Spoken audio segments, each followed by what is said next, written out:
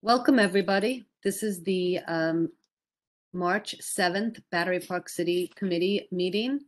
Um, We got moved from last week, so thank you all for attending, and I appreciate your flexibility. Um, I am Justine Cuozzo, and I am the chair of this committee. My co-chair is Kathy Gupta. Kathy, wave, smile and wave if you want to.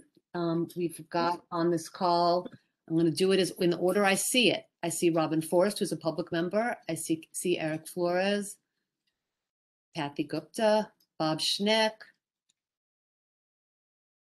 Rosa Chang, who's not member of this committee, but she is a welcome member of the board, and Sarah Cassell, and uh, Jeff um, Galloway is going to be signing in a little bit late, he said. So, um, and I said Bob Schneck, right? Um, but he will be here any minute. So we're going to get started though. Um, I want to remind everybody on the call that the way this works is Robert's rules, which means that um, everybody's going to have a chance to speak, but you raise your hand so it's an orderly fashion. Um, the, the board members that I just announced would be have the ability to go first, and I'll call on them. And then anyone in the in the attendee section, you're muted and we can't see your picture, but you raise your hand, um, which is by going to the reactions section, and then it says raise hand. I believe that's correct, or, or no, no, that's not right. Yes, yes, that's exactly it. It's a raise hand. So like this is raising your hand, this is lowering your hand. And uh, if you're on a phone, I think you have to do star something. What is it? Um, anybody remember? Star six, Star six. it's unmute, star three to raise your hand, I think. Okay, perfect. And that's it. With that getting going, we are going to give Patrick Murphy a treat this time and let him go first with his security update. So Patrick, unmute yourself and take it away.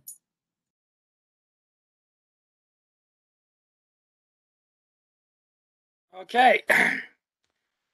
Good evening, everybody. Uh, okay, for the reports dealing with graffiti is our first one on the line. So in 2021, we had three reports. Uh, for this month, uh, for this year, we had four.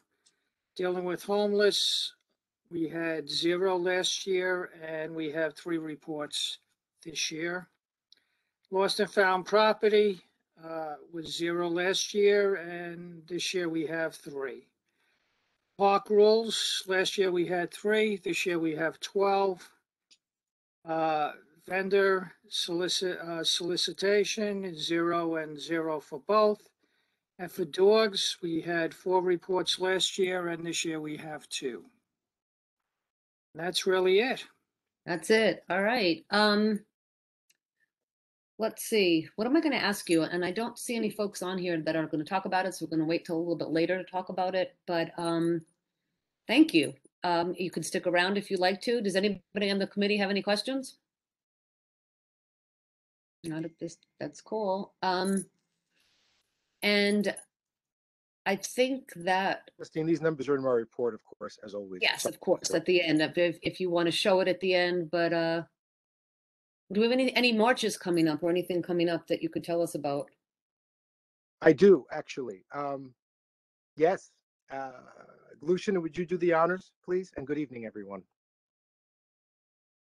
Justine, you know, while he's bringing it up, I have to tell you, there are many things I have to thank you for, but one of the things is I never, and I mean never leave the office at like 5:15. I'm usually there till God knows whatever.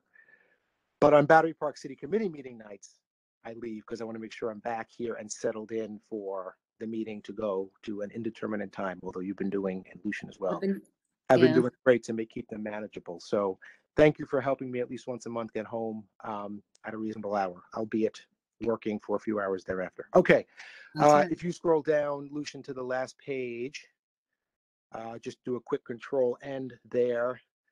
We added in um, just a couple of things coming up uh, right there. There's actually Pat stats and then the blue.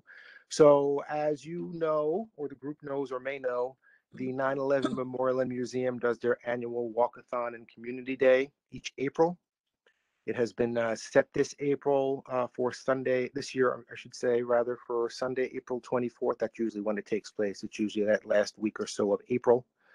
Um, it's a large event and it uh, includes, uh, you know, a number of community partners, police and fire, first responders, etc. Um, we'll have more details to come, but I just wanted to get it on your radar that it is uh, looking at April 24th. If it's helpful to you, Justine and Lucian, we can make the outreach, although I, I think you have some context there as well. Perhaps we can have some of the organizers um, come to the committee just to kind of catch you up on what their thoughts are. I think it's it's mostly the same. There may be some minor route changes, but uh, in the main, that's that's the big event coming up. And then the Colloquius School Dutch King's Day, that's just a small event for kids. That's on the 30th of April. So again, we have some time on these, a month more or so on each. Uh, but that's a smaller event on Esplanade Plaza on Saturday morning, April 30th. I will have more in my April report coming up uh, in April and May, but for now, those are the ones that we're tracking. One larger event, one relatively smaller event that hadn't taken place in a couple of years, but now that we are, knock on wood, almost through the pandemic, it's, uh, we're starting to see some of these smaller events come back as well. Thanks, Justine. No, you're welcome. Thank you. Thank you, Nick, for doing this stuff. Um, and folks on the call and on the board, um, remember that as this, as the season starts to pick up, we've, we've been kind of, uh, I guess one good side of COVID has been, there's been not so many runs and not so many walks. So I guess my question is, and I was looking and then I saw another thing from Pamit. Um, when's Mother's Day? So April Second Sunday in May. second Sunday in May. So it's Oh, the, oh, it's the second Sunday in May. Yeah. in May. Okay. So not So that April. And is, Easter is earlier and Passover is earlier, so that's good. the Mother's Day would be what, May, May 8th, May 8th, I guess? May 8th. Mm, Yes, Mother Day is May Okay, just making sure with the with the walk, just to kind of get a sense of it all. But thank you, thanks, Mhm. Nick. And then the more advanced notice we have as these things come through, the better it is, so people can weigh in and ask questions about it. And this Of course. 9/11 Memorial Run has happened before with no problems. Yeah, I mean, you know, other than the run of the mill kind of just general stuff, I don't recall anything major. It's a, uh, it, but it's a significant downtown event and it's put on by uh, the Memorial, who are, Mhm. right across the way. Yeah, Uh, this is their annual, uh, their annual 5K. And as you know, there's a large community kind of uh, aspect to it as well, open to the public, food and events, and uh, just a really nice day for everyone to uh, to get together. It's kind of like the bookend of the Stephen Siller, which happens around September. This is kind of the Yeah. not exactly the same event, but the same kind of idea.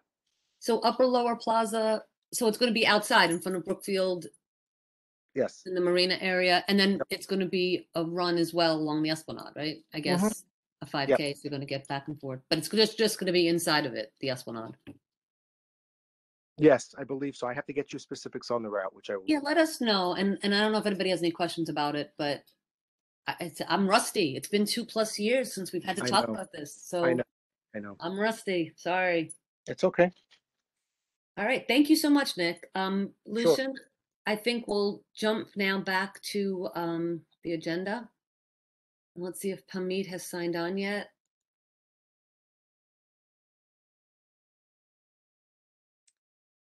He has not signed on yet. I was gonna let him go next, but if he's not here, right? Am I missing it? I don't see Pamit. Right? I don't see him either. All right. Well, do we want to start talking about South End Avenue? Yeah, that works. Because I think that's next. Can you pull the agenda up? I think that's next on the agenda. Let's see what he says. Um, yeah, I haven't seen him. Sorry. Okay, Nick, you're up with the South End Avenue streetscape, Yes, streetscape project. Justine, you know, you let Pat go first tonight. I'm thinking maybe I'll just end up doing my whole report. No, I'm, I'm kidding. No, I'm not letting you do your whole report. We got, we got to talk about this stuff. I'm kidding. Um, yes, uh, what I actually did do in my report, just on the off chance that you were feeling, oh, I don't know, generous, I uh, I put in my report as well, which, as you all know, is posted to the site. I put in my report the um, the up the South End Avenue agenda, uh, the South End Avenue item. Uh, so let me just open it up, and Lucian, if you wouldn't mind, it is on page. Uh, I think it's probably five or so. Yes, page five on the report. Uh, if you could bring that up. So for the benefit of the folks who may be uninitiated, I know Justine has a good amount of history here, Lucian as well. Maybe he was just getting started as, as district manager.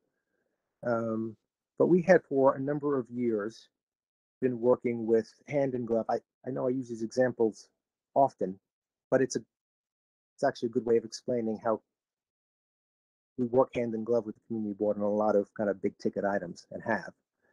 Um, over the course of a number of years, first when I had first begun at the BPCA, this was 2016 or so, and even predating my time, there's been a lot of talk about the traffic conditions on South End Avenue and uh, West 10th Street. Now, this was a this was a thoroughfare that was built, you know, obviously in the 1980s. It was built probably larger than it needs to be, given um, given some of the uses of it as a, in a residential neighborhood, et cetera. Long story short, and I say long story short because, as Lucian will have, there was a very lengthy and comprehensive and good resolution that the community board had passed in 2018, working hand in glove with us and with the Department of Transportation on concepts for what a redesigned South End Avenue and West 10th Street streetscape might look like. Um, widened sidewalks, narrower streets, which uh, leads to um, you know less traffic uh, and other ideas for you know beautifying the space, but also making it a little narrower and essentially aimed for aimed at traffic calming and uh, pedestrian safety. So, long story short, we are now getting geared up to put an RFP out on the street at the uh, by the end of the month. So next time I come before you in April, I'll be able to say the RFP is out. Now, Nick, what does that mean? Oh my God, the RFP. If I were segmenting this out into various stages, and the folks who have been with us for a while understand how it works, it's the RFP to actually do the design, not to start the work yet, right?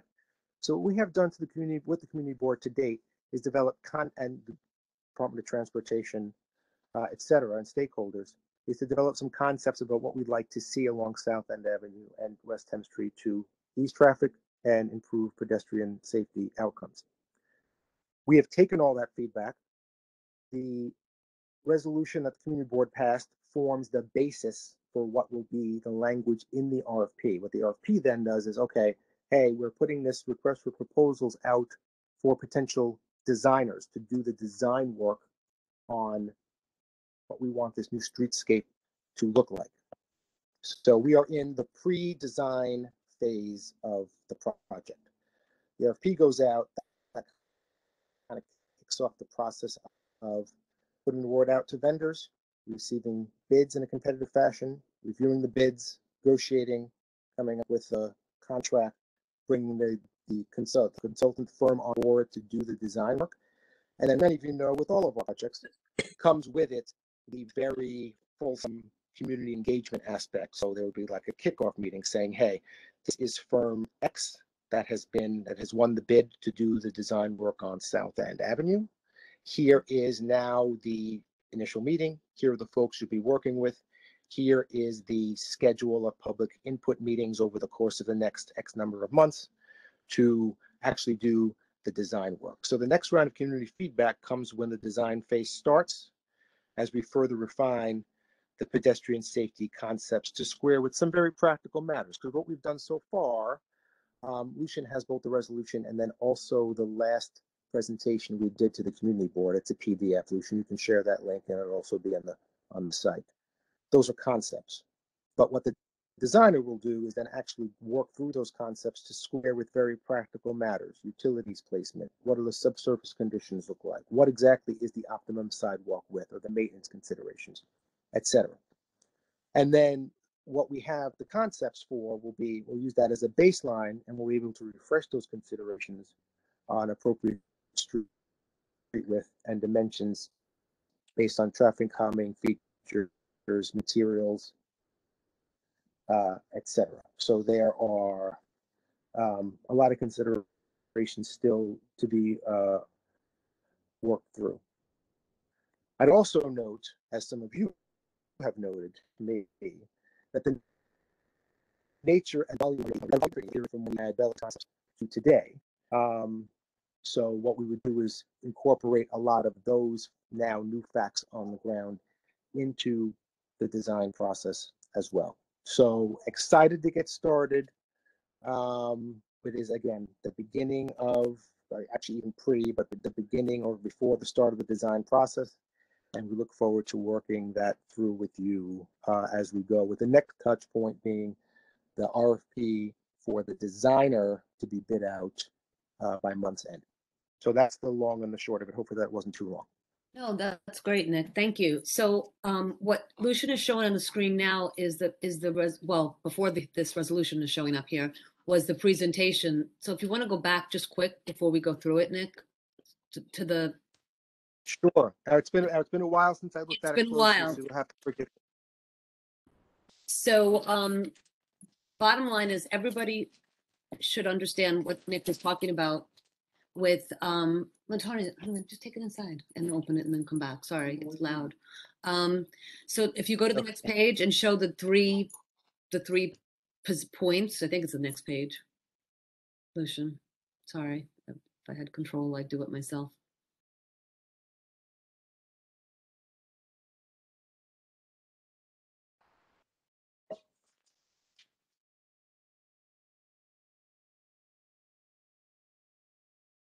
Lucian? I've advanced it. Do you see the, advan- No, it's still frozen on the first page, sorry. it'll catch up. Sorry. No, no, it's. Yeah, okay. yeah. It, it may be, it may be just some slow throughput. Um, if helpful, Justine and Lucian as well, you know, in the, in the resolution as well, the resolution does a really good job of breaking out the three sections. It does, and everybody should really go and look at the sections. So here we go. So the way that they worked it was the north section is Liberty Street from between, so between Liberty and Albany Street. And that's the area that needs the most work because it is the most congested. As anybody who lives in Gateway and is walking um north to south, especially on the Gateway side of the of South End Avenue knows, you can't open the doors to the Come on, yeah. stores without being like bumped off the street. You know, it's it's com- it's it's crowded. So here there's definitely work. Community board meeting, so I don't know. You Um, might as well just go and eat. um, so in the next section, the central section is Rector, is between Albany and Rector. And I think that has got controversy ab- associated with it. We'll talk about that. And then the West 10th Street section also has some issues with it. All of this was addressed by the 2018 resolution, which Lucian, now you can pull it up, sorry. But I just want you you to know what they're talking about when they're saying north section, central, and south. Um, the pictures don't make sense anymore. And I guess, Nick, what I would say, um, and I'll probably say it again, is that this resolution and this plan, as you said, this was what was done back in 2018. Right? I think this plan was put together maybe in 2017 or 2016. And then the resolution itself was written in 2018, July. We need a, a soft reboot based on new changes. I mean, since this resolution was written, there's been a traffic light installed at West, at uh, South End and Rector. There's been stop signs put in. So I think that that is going to have an effect on the traffic calming concerns that were raised and uh, look to be addressed.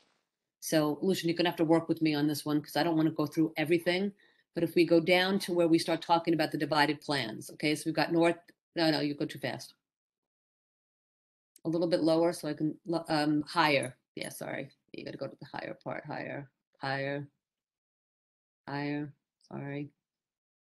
We're going to do the north section. So we've got north.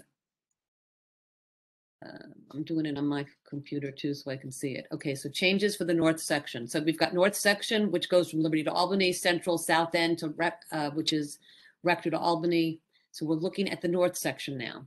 And so here we talked about where the taxi line, cab line is going to go by Liberty Street. And they're going to move it from where it is now in front of LPQ to the other side of the street. Is that correct? Or is it extended?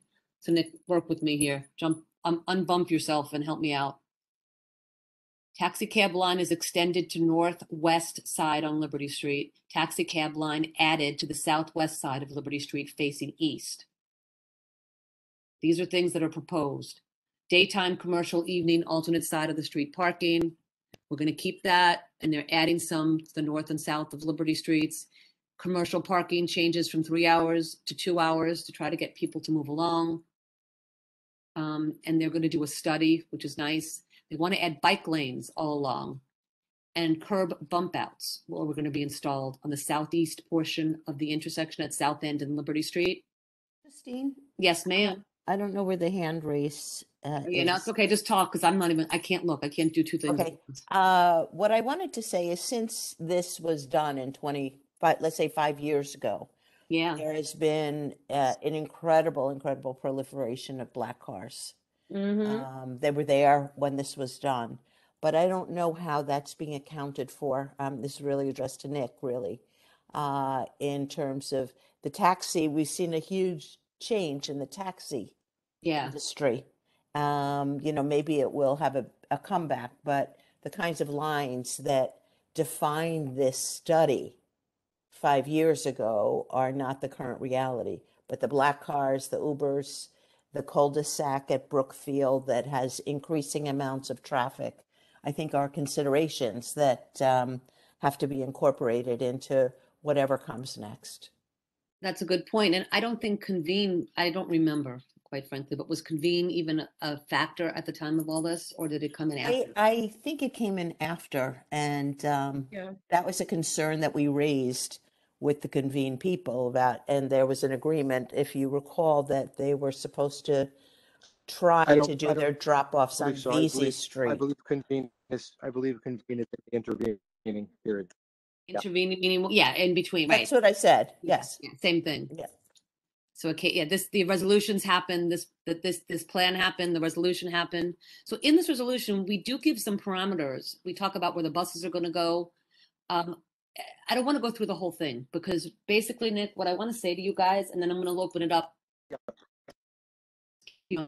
What I want to say is stuff has changed. Um, of concern to the folks by, by Gateway are, um, the medians. Now, if I read this correctly and I remember correctly, you're still going to have a pedestrian refuge island, which is an actual median that's going to be like right in front of uh, LPQ, just a little spit there, correct? And then you're going to have a break for the garage. And there'll be some way for people going north on South End to make a left turn into Gateway Garage or Gateway Plaza, you know, whatever. There's the there's the cul-de-sac there.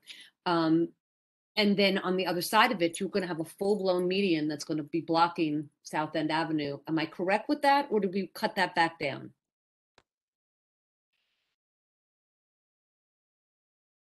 And Nick, I'm asking you, oh, you're, you know, you're having trouble with your connectivity. I see it like the little sign there. So are you there?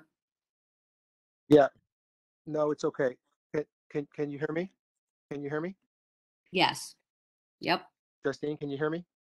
Uh, Okay, yes, we can. sorry, yeah, my Okay. video is, I don't know why my video is acting up. But my, That's if you're, good. you can hear my audio? Yes. Okay, so, um, yeah, like I said, so this was kind of the state of play as of July twenty eighteen, based on what we had worked through. Mm-hmm. Uh, when the designer comes on board, they will have to incorporate everything that is now, uh, facts on the ground and incorporate that into, um, what the, what the, what the design becomes.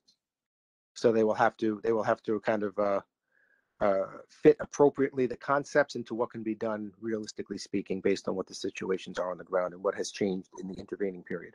And when that, ha- and Jeff, I'm going to call on you in a second. When that happens, you're going to come back to us so that we can do the same kind of in-depth, block by block discussion, correct? Before anything gets done? Yeah, I mean, Justine, I imagine there will be, you know, a not, it's significant amount of meetings on this, like resiliency level project number. Okay, cool. Because yeah, this is a big project for us here. So, all right, Yeah. Je- There you go. there you go. Jeff, go ahead, unmute yourself and go. Um, yeah, I just picking up on this point of lots of things have changed uh, since 2018, 2016, whenever it was that these considerations were made. Um, I, I, I really think that almost everything, I'm, all I can see right now is this particular section of the north section, but I think every single thing here needs to be uh, rethought. I mean, for example, the median. Right now, with all the I mean, the, the taxi stand is essentially not used at all. Maybe there's two taxis there in a in a in a busy time, um, but it it it does make it difficult for the Ubers to drop off there. So they tend to double park. If there were a median, that would completely block that traffic. Uh, Ubers use the bus stop also uh, to drop off and and pick up. And then, of course, the backup from the Gateway Garage is as bad as it ever was, Yep. uh, which tends to get backed up behind the Ubers. Right now, people get into either get past that line by going in the middle of what would become a median, um, which would further clog the traffic. So I, th- I think I'm not saying that a median is a bad idea. I mean, it, it is it is treacherous to cross South End Avenue as a pedestrian, um, and it's even more treacherous if you're a young child or elderly or need to take you know special Mm. time to to get across. Traffic is coming in like five different directions um, at at once.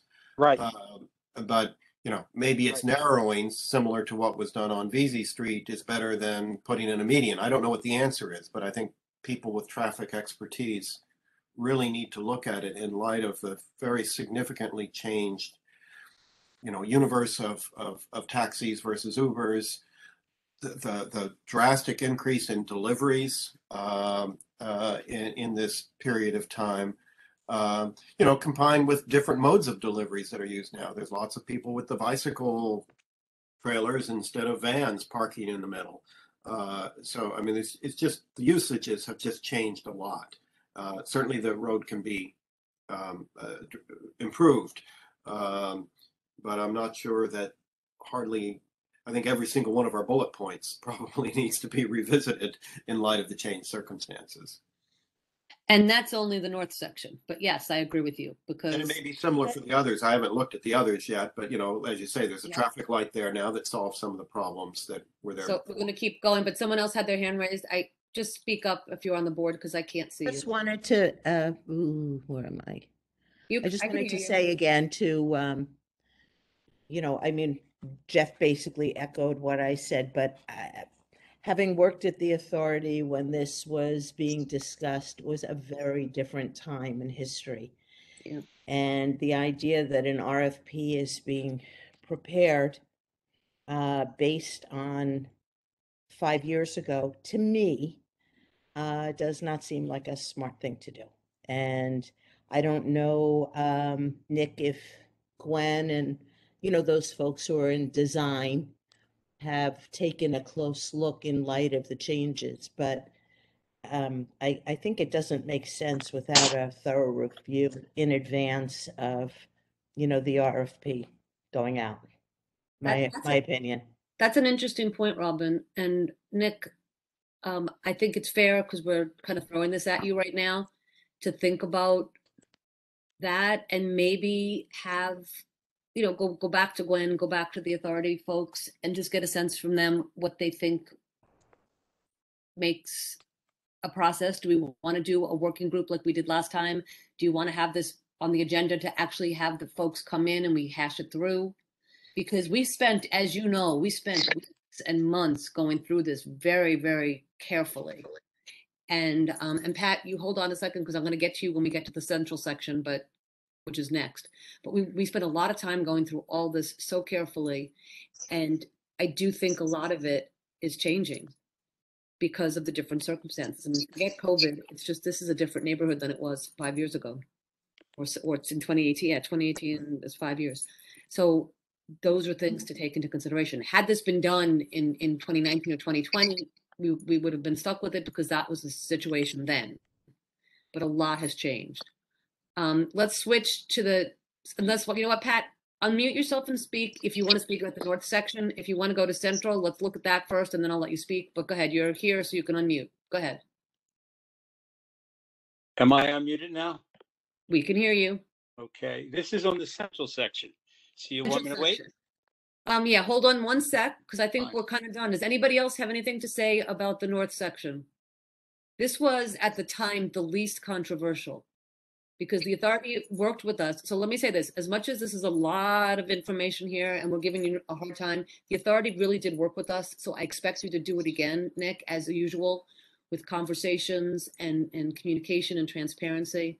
They did work with us to get to a place for the north section.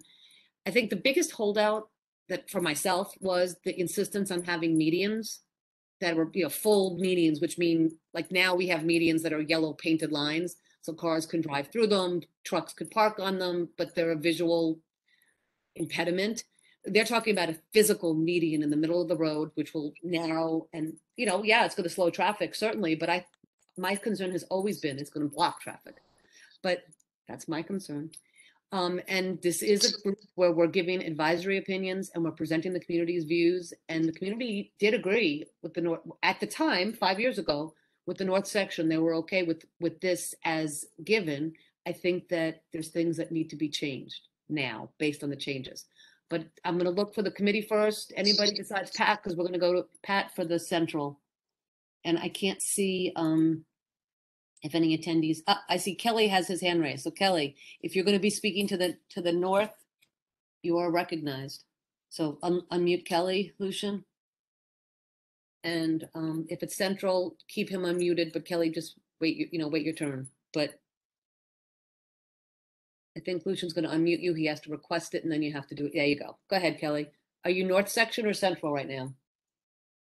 we need to recognize the the current reality versus five years ago. So Jeff said it perfectly, so I won't reiterate that. But I would just point out as a reminder, when we went from two lanes in both directions to a median in one lane, we Yep. had the huge benefit of keeping the delivery trucks largely off the side streets under people's windows, which was Yes. a very common problem. Um, and, and no matter how much we, we fought for making sure they turned the engines off, right? Uh, Mhm. That was largely addressed by having them off the side streets. So I think we'd all love to see bike lanes, median tree lined streets and, and wide sidewalks, but we have to have a plan that sort of recognizes reality, not what we want it to be. Yep. And and if- unless we have a good solution for the delivery trucks, um, you know, we have to, you know, that's it. We don't want to force them back to the side streets and under people's windows. So, Yeah, really good point, Kelly. Thank you. Thank you. I agree with you. Um, so Nick, you're hearing it again that the medians are an issue from more people than me. All right, Lucian, will you scroll to central section and then, um, I'm gonna let people read for a second and recognize Pat. So I know what you're gonna say, Pat, and I'm gonna give you the floor. But Lucian, you should scroll for center. There you go. All right, Justine, thank you very much. Thank you, members of the committee. Uh, when this, uh, plan was first surfaced three or four years ago, the boards of six, count them, six condos along South End Avenue below Albany Street took the position that you have a problem north of Albany Street. Whatever you want to do to work out that problem, to address that problem, to solve that problem, please, we will support you. We will be behind you hundred percent. South of Albany Street, we do not have a problem. Yep. So we are able to, you know, take deliveries. We are able, you know, the, the, the trucks park in the middle of the street. That's ugly, but you know, as Kelly pointed out, it's a reality and it keeps them off the side streets. Yep. And to go to the expense of even, you know, with it, with an RFP, to start working on fixing a problem that doesn't exist south of Albany Street is a waste of our uh, ground rent dollars. So fix what you need to fix north of Albany Street. We support you hundred percent. South of Albany Street, we don't want to widen our sidewalks. Right now, our sidewalks on the west side of the street are twenty-five feet wide. The plan that was surfaced would widen them five feet more. That's. And when you cut into the traffic lane and widen the sidewalk, you are inviting motorized two-wheel vehicles to ride on the sidewalk. You are increasing the danger to pedestrians Yes, good by point. doing that. Uh, right now, when I get home on a weekend, I pull up in front of my building, I have to double park to unload my car. And because the street is so wide, it is not a problem. People can get around me. The pro- proposal you would have, I would not be able to do that. Uh, trucks, you know, the proposal calls for some truck parking on West Thames and hoping that the people parking the trucks there would go up to a hundred yards to make deliveries It's just not reasonable to expect that to happen. Again, we are in good shape south of Albany Street. Don't spend your money down here. Spend your money between Albany and Liberty, where you've got a lot of problems. So I have six condo, condo resolutions. I Yes. shared them with Justine the other day. You can have them.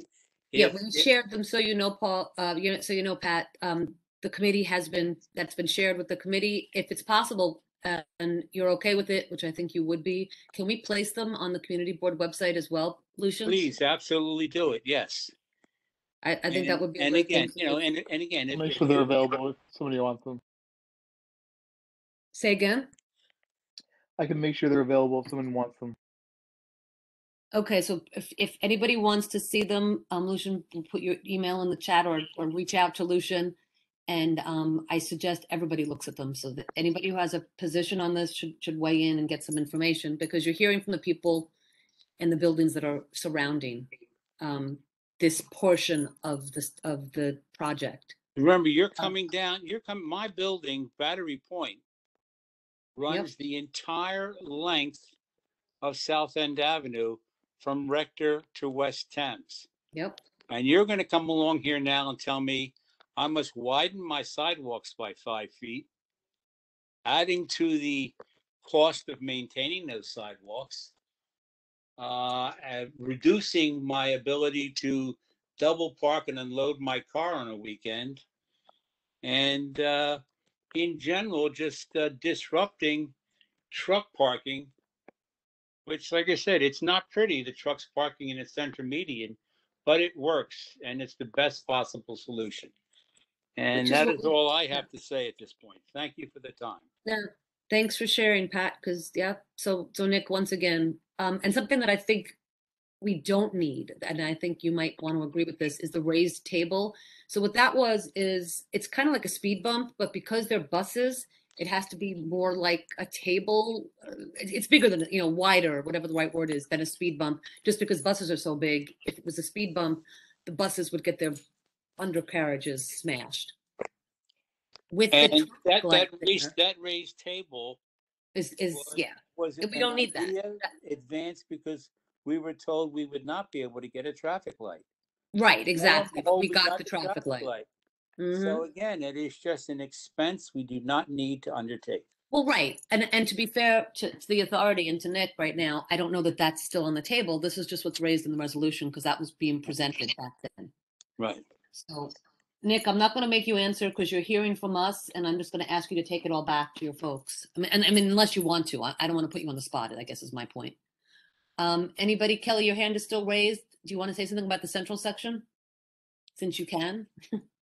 Oh, this is, great. This is exactly where we want to have the Yeah. conversation. Nick, is that you talking? Yeah, you're breaking up again. Yep. So sorry. Can't hear you. Nope, I don't hear you. I do see Robin's hand up. So do- Robin, do you want to say something? Yeah. Um, I, I just want to, you know, re-echo what we've been talking about, how different the world is today than it was. And um, without seeming to be too philosophical, I think if um, there's anything we've learned as a community in the last couple of years with the pandemic, is that we need to prioritize what's important. And uh, what may have been important in 2016 or 17, uh, the North End is definitely an issue and continues to be an issue. The other areas, among other reasons, were, you know, to make it more habitable, to make it prettier, to make it nicer. And I uh, have to question the appropriateness of that now, particularly in light of the costs that are being borne uh, by the condominiums and indirectly by the rental properties. I think that we as a community need to decide what's important and not um, continue with the plan that seemed like the right thing five or six years ago. So I, I would encourage, uh, as you have, uh, Nick and BJ and company, to really, before an RFP is issued, to really think hard and maybe have a community meeting uh, to discuss what this is about at this moment in time and the appropriateness of this at this moment in time. So is with that, I'm Just gonna, hear you shut up. say, Robin, and then Nick, I'll, I'm gonna call Patrick and you too. Um, but, but it's interesting to hear you say this because it's different conversation from the folks by Gateway. And you're even saying by Liberty Street, you're not looking so much for a change, or No, maybe I- you I want some nor- change. I think the north end needs improvement. I mean, the situation Okay, is terrible. Pat uh, echoed that. I think Yeah. we all know it. It's so a- that's, the that's- lived experience, which Okay. is terrible. But south of Albany, I'm not sure that there really is a compelling need, let's say. I mean, I don't see one, but that doesn't mean that there isn't one. But I Sure. think an evaluation and analysis um, as to the costs and the benefit and what will it bring us uh, as a community and a community that's you know, facing challenges and continues to face challenges in terms of the real estate market um, and in terms of the ground rent, um, you know, all around, not only condominiums, the rental buildings have them and they're reflected in the rents. exactly. But, but I do think that it's something that needs to be reevaluated um, in light of what's happened since, you know, a really excellent plan was put together with a lot of work, a lot of hours spent by the community, by the authority, Yep, an incredible amount of work. But sometimes, you know, as life changes, we need to change with it. And this may be the moment that we need to rethink the expenditure of this kind of money, the disruption to the community, which will certainly be incredibly large. I mean, it'll be large enough at the north end. Um, but every time you rip up a sidewalk to widen it, you know, there, uh, there are so many implications, utilities, traffic disruptions, noise, dust. I mean, just the list is, is really long.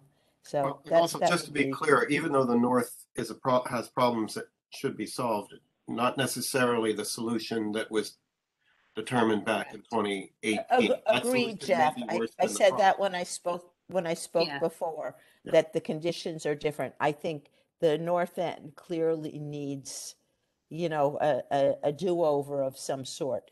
But you're right, Yep. the one that was proposed in twenty seventeen may not be the right, you know, the right, uh, situation for the current situation. so I think what's clearly being said, and I think Jeff was kind of saying it to me, so I knew what was going on. What's clearly being said is that this resolution as written, it was approved for the conditions back then. It is not approved for the conditions today. And we just need to revisit it. And maybe we need to do a little bit of work before they go through the expense of an RFP or doing that. That's what I'm hearing. Um, thank you. Pat, I don't think you had your hand raised, but maybe you did. Pat, oh, let's see, who who had their hand raised? I, I did. Pat Justin. Smith, go ahead. Yes, please, go ahead. And then I'm going to call on Lana in the attendee section. Go ahead, Pat. Uh, Justine, thank you, but I did not have my hand raised. Oh, okay. It's, It it's was an raised. old right hand. Thank Your you. old hand. Old Okay. hand. Okay. No problem. Perfect. Justine? I just didn't want to ignore anybody. Um, Justine, can you hear me? I'm sorry, is that Nick? Justine? Yes, that's now I me. can. I'm so sorry. I don't mean to overrule, overrun you, but we, c- when you fade out, we can't hear you. So, but go ahead. No, Now no, no, can. it's completely okay. I, I don't know why I'm having throughput issues this evening. Apologies. So Lucian was kind enough to give me the dial-in, so I'm, I'm in now. Perfect. Okay, Um, so yes, all of this is exactly what is supposed to happen. It's very valuable. good. Um, that's why I opened up by saying the next round of feedback comes with the design phase, which we have not yet started. So all of this feedback is really helpful. this should be exactly the conversation we have with the designer when the design process starts.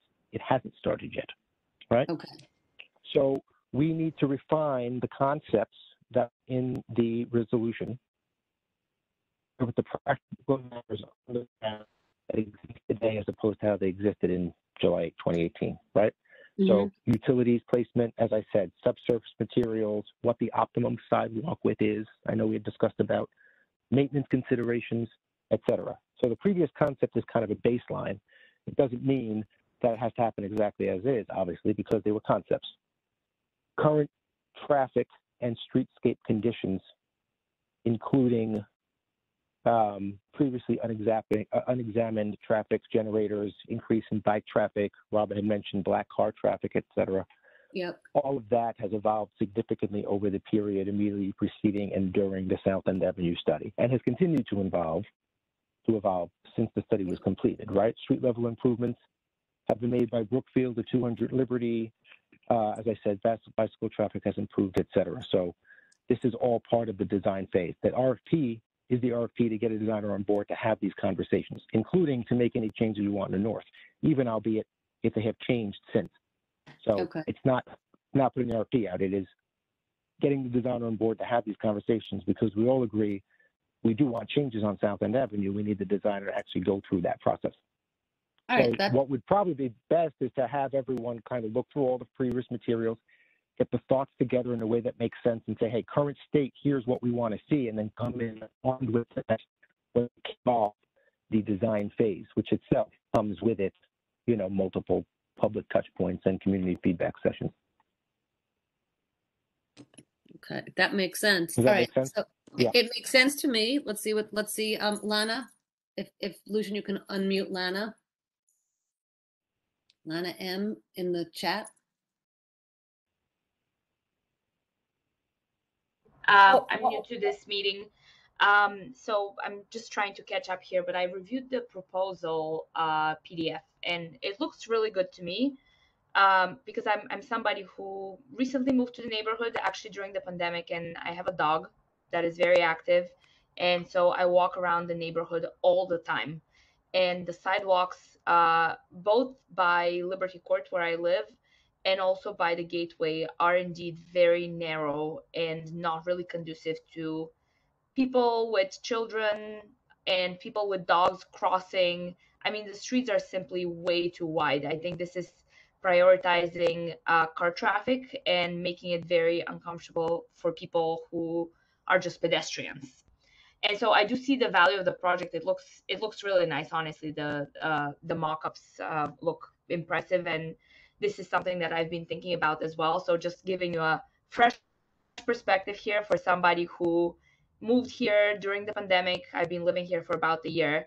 Um, and I'm hearing a lot of people say that, um, you know, things have changed over the last five to six years.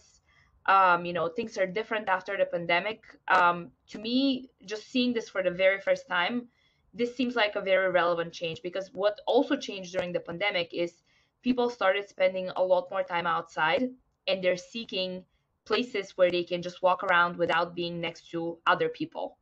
And so um, you know from from that perspective i mean we have a thousand dogs living in battery park city. So you can imagine how often people need to be on sidewalks and pass by each other with dogs that may want to sniff each other.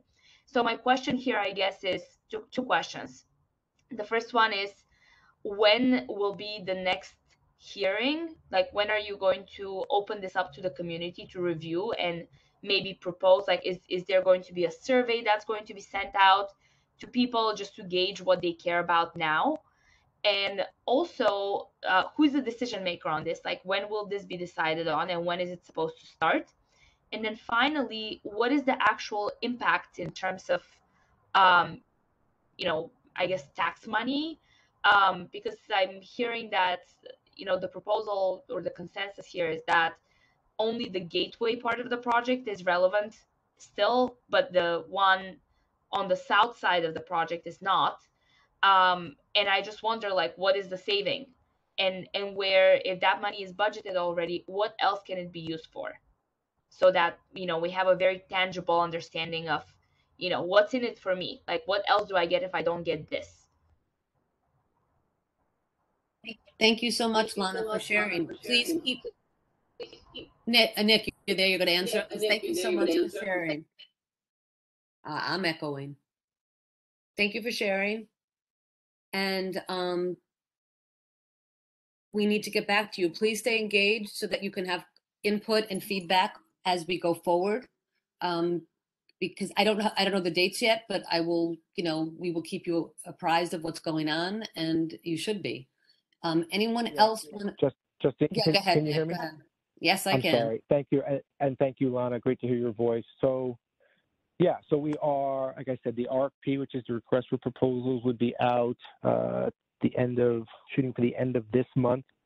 So the way the process is, is competitively bid. It goes out. You have uh, firms would bid on the proposal, get the proposals back. You'd have a, uh, an evaluation committee. They would uh, review the evaluation, review the proposals based on based on best value in terms of cost and services offered. You would have then the the firm brought on board, co- contract developed, and then the, the the firm would then engage with starting the design process. So I would say later this year, probably at the earliest. Don't hold me to it, Justine, because you know sometimes timelines are, you know, um, I don't I don't have an exact timeline as I sit here. What I'm saying though is once the once the designer is brought on board and we're saying, okay, now we're starting the actual South End Avenue, West Thames Street design process, that's when we would then say, okay, here's the public meeting. Here is the initial kickoff with the folks working on the project.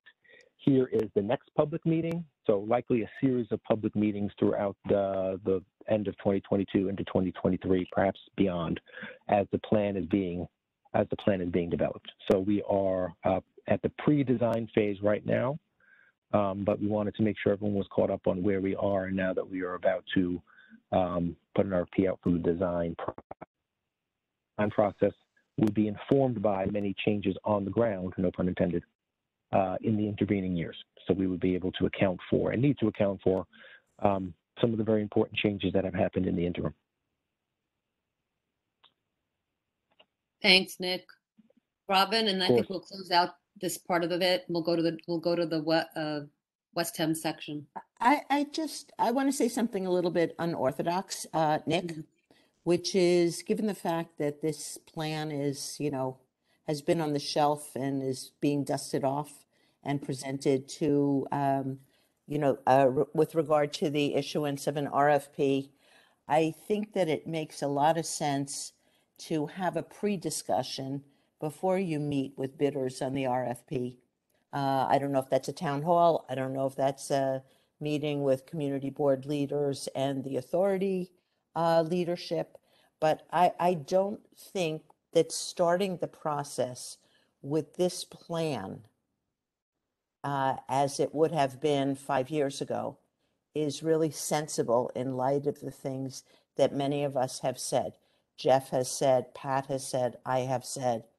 Um, a- and I think that it requires a little bit of a re, a tinkering and possibly a rebooting of the timing of the process. And I know that RFPs are very strictly governed, but I would ask you, Nick, and, you know, with, assuming that others agree with me, that there be a discussion at the authority about how we bring this plan uh, to some more current uh, set of requirements before it goes to uh, a design firm.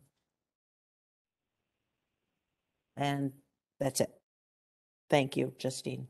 No, thank you so much. Um, I don't, I don't think Kelly, um, your hand has been raised the whole time, so I'm thinking you don't really have it raised, but text me if you do. No, I, then- I put it down earlier and he, he put it back up. Put it back up, so let's So call on him. the one. Okay. That's good. New hand, let's call on him. And then Kelly, you're last on this because I want to go to the next section. Yeah, thank, thanks. Uh, really Sorry, quickly, Kelly. Um, thank you. Uh, I would like to, whatever we do when deciding, I actually agree with Robin entirely, but uh, we need to have a process that takes a look up when we make a change, and I'll give you a good example, uh, concrete example. When we do a change, we need to have a feedback, quick revision of what the unintended consequence of that was. So we have the light at Rector, great, it's on the north side. That immediately had the effect of making the south side crossing 10 times more dangerous, right? Mhm, Um, mhm. and I don't know whether that would have been better solved if thought through with specific crosswalks, because I think what one of the things that happened is people assume that they have a light and they don't have to stop at the other corner, the drivers, right? So it immediately had a, a very dangerous impact that may have been easily rectified if we had a, a, sh- a, a shorter feedback period of, of what the change was, if it wasn't caught in the original design. Um, so that's my comment on the central section. Thank you, Kelly. I appreciate it. All right, um, sorry. So next, let's look at the north, um, the south section, sorry. Um, Directionally challenged.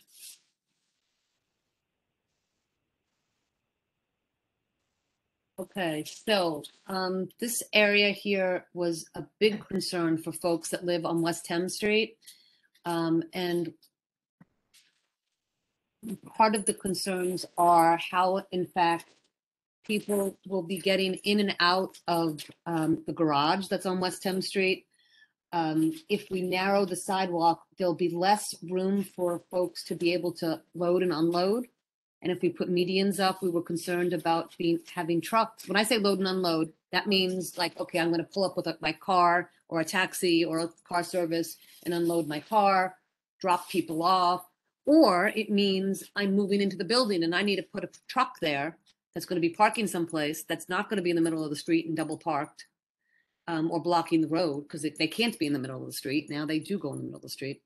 And then the road is blocked in one direction for hours on end because eh, they have to do that. There's no place to go. Um, so anyhow, these were the things that were raised. Um, the buildings addressed it. Um, so I guess here we talk about the MTA buses and we had a good discussion about where to place them. So they wouldn't be, um, blocking traffic or blocking sight lines. There was concern every place along, uh, where the bus stops were being moved because it was farther and harder for people to get to. But um, that's going to be another discussion and I leave it to Bob Schneck to weigh in on that one. For that, um, the bike, city bike station was going to be moved closer to the Greenway. And then I think the biggest thing was the sidewalk extensions because on the north side of West Thames Street, from South End Avenue to West, they're looking to extend it by 14 feet, which was just a huge amount. I mean, I'm sorry, Lana, I disagree. I think our sidewalks are pretty large now. And I don't know that taking the streets, my position particularly, and, and many of the folks that lived here were very much against going through the expense of doing that. And also were very much against putting in, um, uh, medians that would block the whole, uh, space, because right now we still do have spaces for trucks to park. And again, ugly, but they're useful. And the, um, condos did weigh in, um, on each of these things, but I'm gonna stop talking because you guys can read the resolution and I I ask anyone on the call to weigh, to weigh in and have an opinion.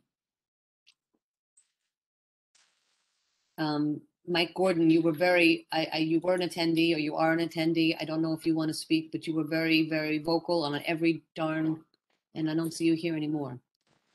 Um, and but Marianne Braverman, you also were very much involved. Um, I'd love to hear what you have to say about it and see, see about the changes. Um,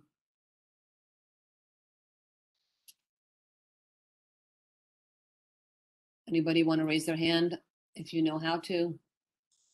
Marianne may not know how to raise her hand, but I would love to hear from people. I'm seeing a little thumbs up sign. I don't know who's speaking, but uh, I saw the thumbs up sign. Bob Schneck, go ahead, sir. Okay, thank you. I, uh, am I live and heard? Yes, we hear you. Okay. Um, Thank you. in the time when this happened, uh, I was, I was very allied, uh, with Gus, who was the, uh, chief custodian of the Liberty Court building. And he was very, very, very, very concerned with how West Thames Street was going to be handled.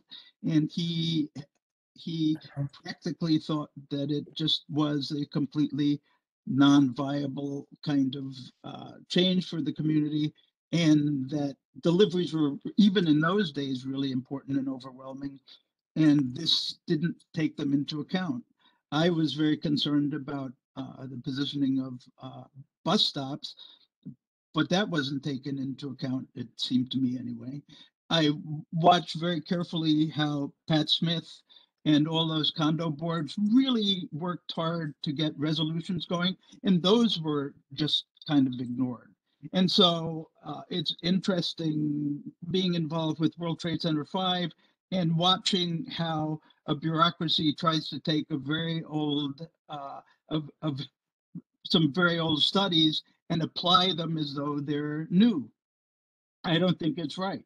I think it i think that the in this particular case enough time has passed enough changes happened that the res- resolution should simply be withdrawn and revised with a new process and that the rsvp although it would be very favorable to the people who are favored favored by uh, having such a large project happen and moving all that money around I think that it isn't the right time for uh, uh, for an RS, RFP, and that it's really um, we really should revisit the whole matter, really rethink it. It's not a good time for construction. Uh, the there's going to be so much construction going on down here. The question is how necessary is all this, and how quickly is it going to bring the kinds of any kinds of changes at all that are actually positive. And so I think the whole thing really has to. I think I think that it felt like the resolution was steamrolled into position that a lot of things weren't listened to even at the time and now the resolution is very dated and things have changed very much so uh, i think it's it needs a relook and a re-see and it one some things that seemed important to me is that it really makes problems for emergency vehicles uh, if we do that. The another thing is that once you widen those sidewalks and you actually have to move the sewers and things, that's extremely expensive, but you can't go back. And so I've seen lots of places where uh, the MTA has put up or the DOT has put up kind of temporary uh, temporary structures where, with bus stops and things, we could put a temporary thing there for a few months and see whether or not we really are better off with these restructured situations. In any way, in any in any case, I'd be very uncomfortable to vote to go forward with this resolution. Thanks so much, Bob. I appreciate it. Um, I don't see someone on the, anyone on the committee with their hand raised, so I'm gonna go to Marianne Braverman and then, um, Barbara Ireland. Lucian's unmuting you guys, so as you get unmuted, unmute yourself and just go ahead and talk. Muted. I agree with almost everything that Bob has said, particularly supporting Gus's opinion, having been the super of that building for, since it was opened, that it's not just uh, delivery trucks, but also service trucks, vehicles that are bringing, you know, air conditioners and things like that, and people with heavy tools to go in and, and do work. They need places to go as well. And um, I- just never saw that there was enough uh, room allotted for trucks to come and go throughout the day. So I, I don't want to see changes to the, uh, the West Thames Street. Also, in terms of the buses, since we're not, th- the most sensible thing, if we really want to focus on buses, is to have them leave the neighborhood at Albany. People who live north of there did not want that to happen, and that was taken off the table. If we're not going to have the, the table and the specifics of at Rector, does it still make sense to remove the bus stops on West Thames and place them at Rector Park? And that's all I need to say now. Thank you. Thanks, Marianne. I appreciate it. And yes, everybody here, um, I can't talk about Gus without tearing up. So, um, yeah. And also, Marianne, I'm not going to make you tear up, but yeah, Thank you. Don't do that. I'm not. I'm not going there. So, yeah. Okay. Um, but anyway, just, just, just sending you much love on all counts. Um, Thank Barbara, you. go ahead. You you. go. Thank you, Marianne. And thank you for being here.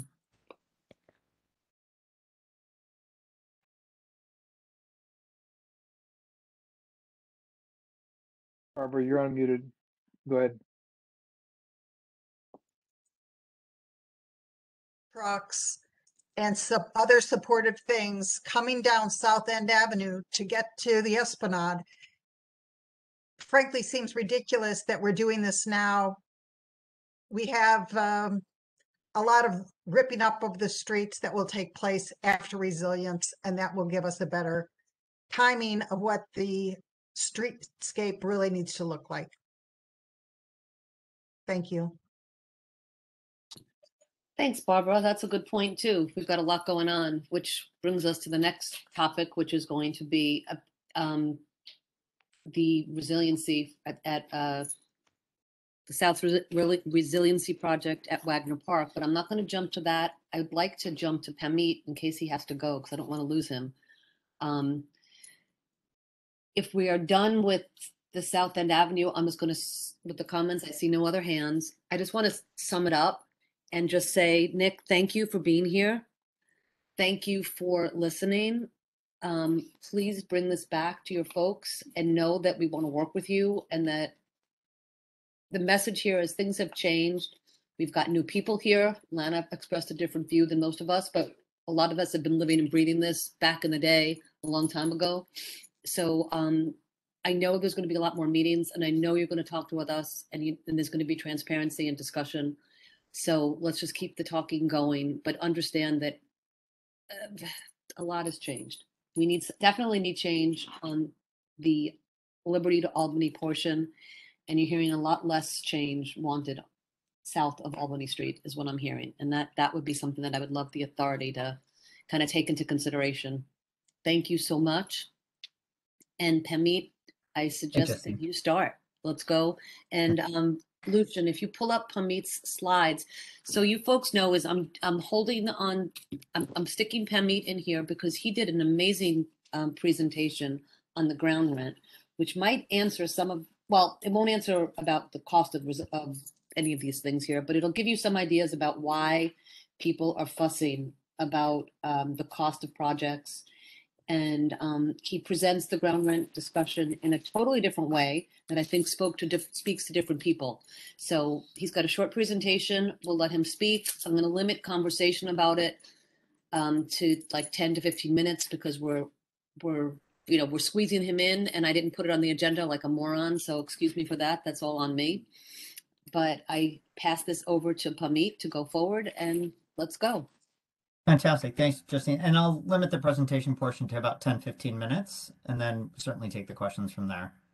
Um, hi, everyone. I see some familiar names and faces, but for those who I haven't had the pleasure of meeting, uh, Pamit Surana, Battery Park City resident for 17 years, um, own a condo in the south at Hudson View East and here on the north end at River and Warren, and been active in the community for many years. Um, would love to take everybody through a ground rent 101 which is what uh, several of us at the Battery Park City Neighborhood Association have put together.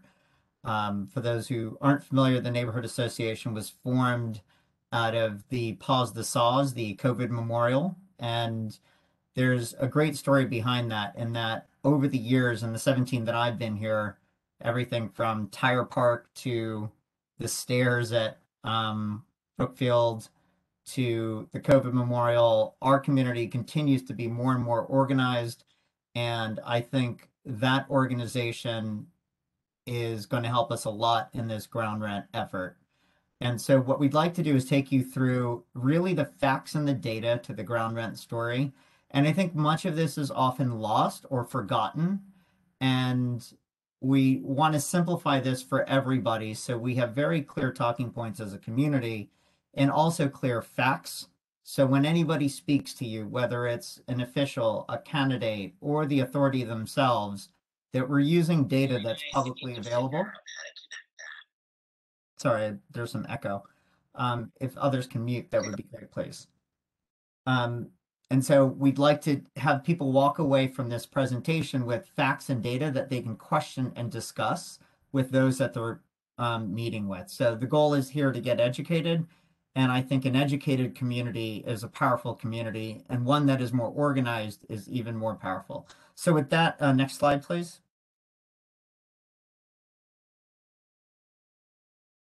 So I wanted to start with this slide because I think this is often forgotten. Um, the Battery Park City Authority generates a surplus every year and has generated a surplus every year for many years. So there's a real fundamental question that we need to always keep front and center in this discussion of ground rent. Why are they even raising ground rent if they have a surplus? And we should take that in for a minute and let's put some numbers behind it. So buried on page 42 of their 132 page annual report is the summary schedule of revenues and expenses. And what you see here in these circles in the middle of the page is the ground rent revenue is 64.4 million. Civic facilities is 16 million. So they're getting 80 million dollars in revenue from ground rent and civic fees to cover 16 million in wages and salary, other pension employee benefits, post-employment benefits of 3.6, and then 37 more million of other. When you put that together, they're taking 80 million in revenue and they're spending 58. And again, these are the two revenue sources that is unique to Battery Park. And so we have to remind everybody those who think about the Leonardo DiCaprios and those who say that we're not paying fair share, it is clear with hard data, plain and simple, from Battery Park's own documents that they are charging 22 million more than the operating costs. What we will not get into is whether it takes $58 million to run the authority, which is a different conversation, but we'll take it at face value. So let's start the conversation with 22 million of surplus. So any proposal that is short of a rebate is a fair proposal. And so I, I want everybody to take this in and we can discuss it later. But when somebody doesn't talk about this slide, I think it's fair to say it's disingenuous because this is the fact and this is the data. Next page. What this means, and this is a lower Manhattan issue, completely in the purview of CB1. And so I'll start with the right for a minute. So now that you saw the surplus, it absolutely supports an incredibly fair and reasonable proposal from the community that there's an absolute freeze. And that freeze would lock in that $80 million number because they're only spending 58 right now. And so over 10 years, maybe they'll catch up on those expenses, but we should not pay a penny more. That's the basis of the 10 year freeze. And we can do 1% year thereafter.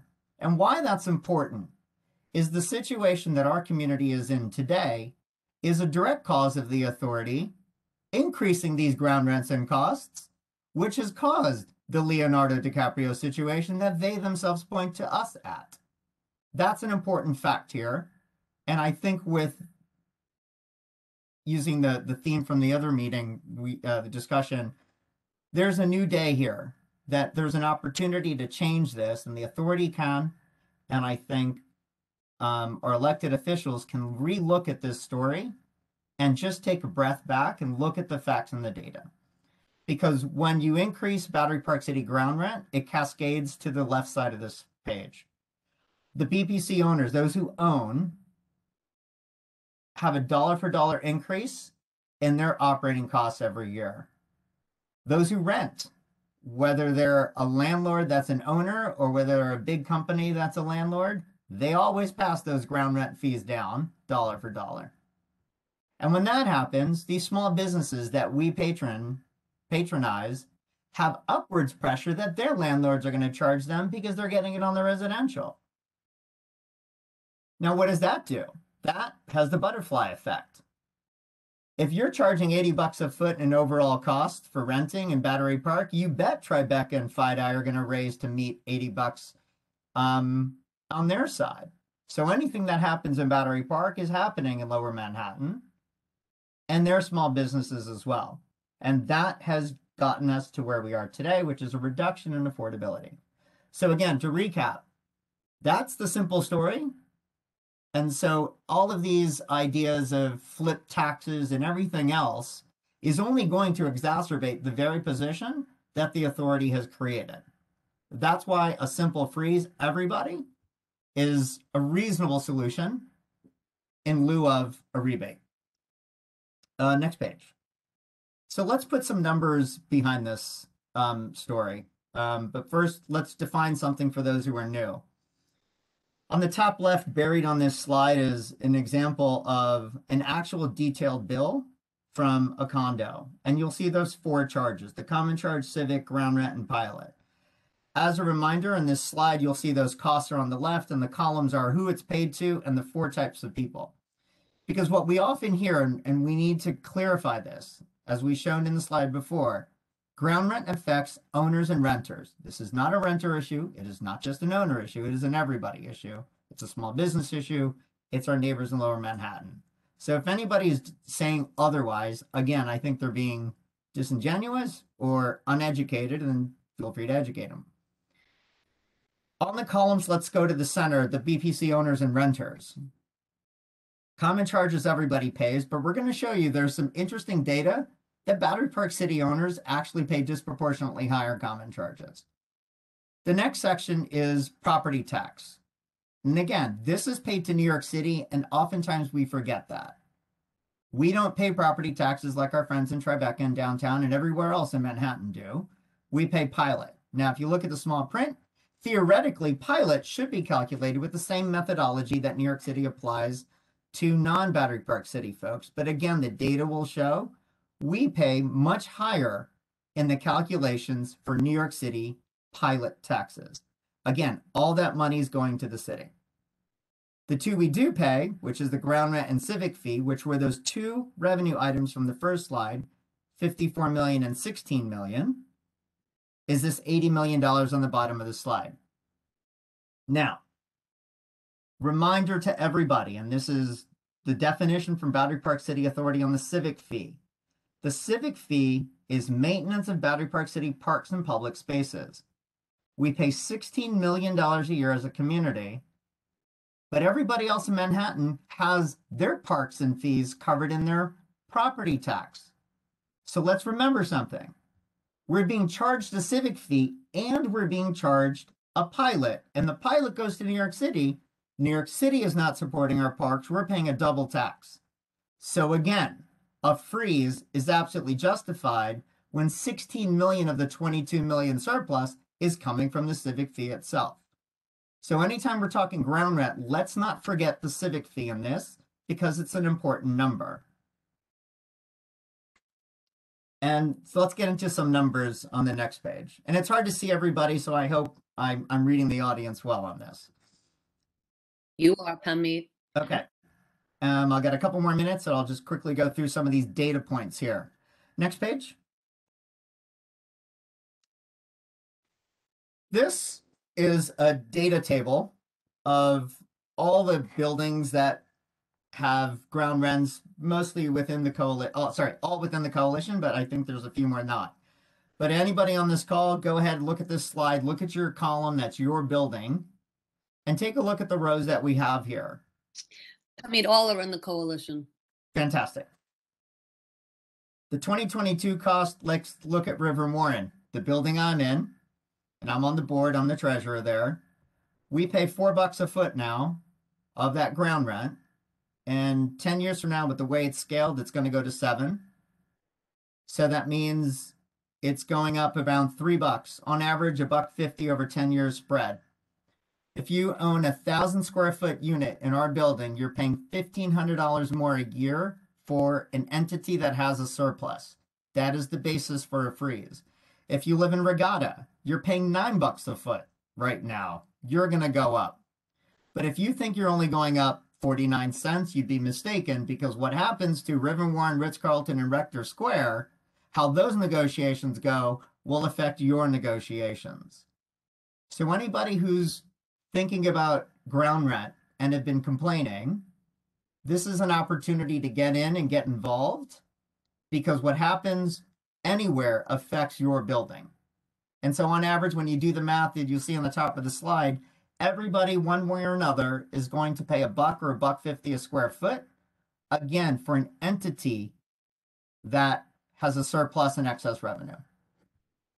That has many impacts. Affordability, a hundred bucks a month in rent for some places, or in some cases, if it goes up two or three bucks a foot.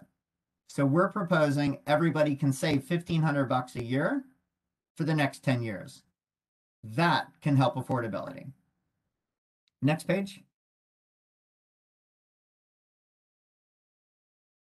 Now, if ground rent wasn't enough uh, as a surplus, here's some more bad news for Battery Park. When you look at Pilot, and so what we did was we took data from Zillow and Street Easy, you look in their costs and common charges and taxes, and these are examples. You can go ahead and pull 50 more buildings, the story's not going to change. When Tribeca pays $13.60 on average for a property tax for the New York City calculation, that same pilot calculation ends up averaging $19 for Battery Park. So we have to ask ourselves why is Battery Park's average 40% higher on property taxes that's going to the city on top of paying ground rent, on top of paying civic? Right. So Pemi, just to make it clear, this is totally the pilot, nothing to do with the ground rent or civic fees. Correct. This is on top of it. Correct. So there's a lot of questions that we need to raise as a community of how to deal with this separately. But as it relates to conversations with the authority, this has to be a factor because this is happening to Battery Park City. And so when anybody brings up the a conversation first, again, we tell them there's a surplus. Why are we having this conversation? And oh, by the way, we're also being penalized on the way things are calculated at the city. Now, there's for another date and time several calculations of how Battery Park City is structured that creates this 40% increase. But again, this is Battery Park City being treated unequal. Next slide. And we can quibble 20, 30, 40, 50. It's a lot, it's material. Now, because of the way Battery Park was designed, what you find here on common charges, again, these are the costs that just go to the building, your salaries, your porter, your doorman, your et cetera. What you find interesting is another statistic that the cost per square foot of common charge ground rent and civic fees is 35% higher in Tribeca. Some of that has to do with the very buildings that, because of the size and the footprint and the dimension and keeping everything in an organized build, the common charges in some of these buildings are disproportionately higher because they don't have enough units. That is unique to Battery Park. So you see higher common charges. Hudson View East and some of those other smaller buildings being perfect examples. Net net, we're paying 35% more in common charges, ground rent, and civic fees on top of the 40% in pilot fees that's going to the city. Next page. If you're not drinking by now in this meeting, maybe you should. Um, what does that mean? That means when you bloat all these taxes and costs, you're going to get higher rent. That is the law of economics. And so, for example, if you have, whether it's a landlord who buys a unit that wants to rent it, they have all those costs that they need to account for, which is the bottom row of this table. They're going to add a 10% margin and they're going to have higher rents. When you have higher rents, that's going to drive rents up. And this is a, an upward cycle of costs and a downward cycle on affordability. And I picked everything from one bedroom, two bedrooms to lovely four bedrooms. Everything keeps going up because of those bloated costs. And the next slide for the owners is what we all know. If you look at the price per square foot disparity, what you've done is penalize Battery Park City owners to the tune of 30% lower price per square foot. What does that mean? When property values in Manhattan go up 10%, that means somebody in Tribeca is going to make $167 a foot. But that same 10% Battery Park person is going to make 118. So that wealth disparity is actually hurting Battery Park City owners on top of the OPEX. So your Tribeca friend just made 50 bucks more a foot, even though you're in the same market and separated by one street. Again, all the more reason why a freeze helps the cash and the operating for those, an operating cost for those in Battery Park. Next slide, and I'm almost done here. So again, just to recap, all of this reduces affordability. And again, the irony and an honest conversation we should have with anybody, whether it's an elected official or the authority, when they talk about affordability, they're the ones who created this situation. They have a unique opportunity to fix it, at least with the freeze, to stem the lack of or to stem the increase in unaffordability. Next page. What does that mean? Here's what you can do. Two things. Ask your condo association. We are happy to host this presentation for them, annual meeting, one-off meetings, every one of those 20 buildings. We'd love to get this story out there before April 30th. And that's important for a couple of reasons. There's a legislative session that ends by June 2nd. Primaries are June 28th, and everybody should get educated. And one of the powerful things that we hope that our community can do is come out incredibly hard in the primaries because that is the only voice that our community has has.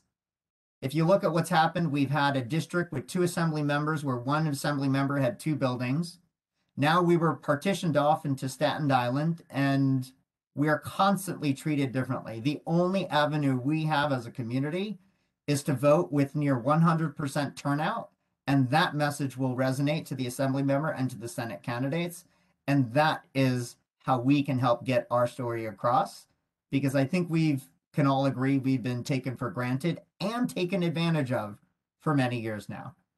And so we encourage everybody to get get get educated, get involved, find the people that you think the assembly member and senate races can appreciate these data points and these facts and are willing to to support that.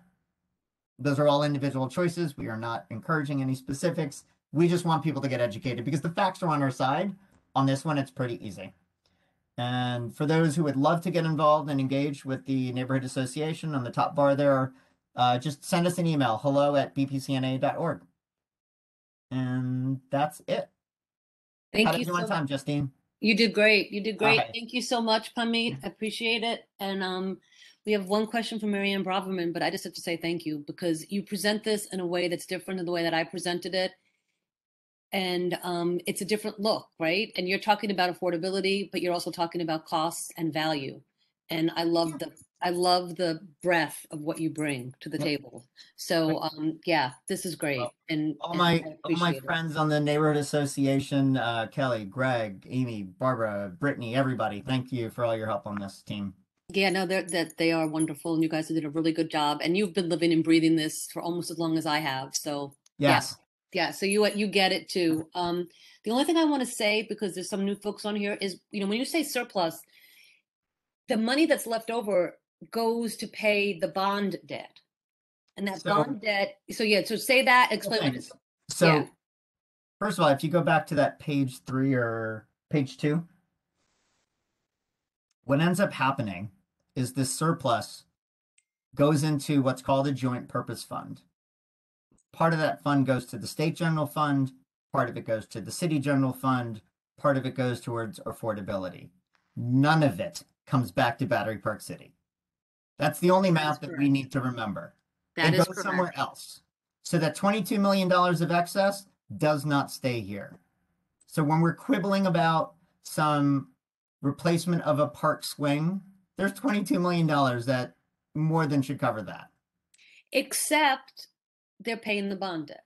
So Correct. so so, so A except they're different day a different debt. conversation, but it's it's surplus revenue. And if you look here, It's surplus revenue that they don't need to keep their lights on. Correct. And, and keep- to keep and it that's, simple, that's, yeah, what what you'll hear the authority and and Nick and BJ always say, you pay extra to live here. That's eighty million dollars, and That's it costs money yeah. to live here. 64 uh, 58 million dollars.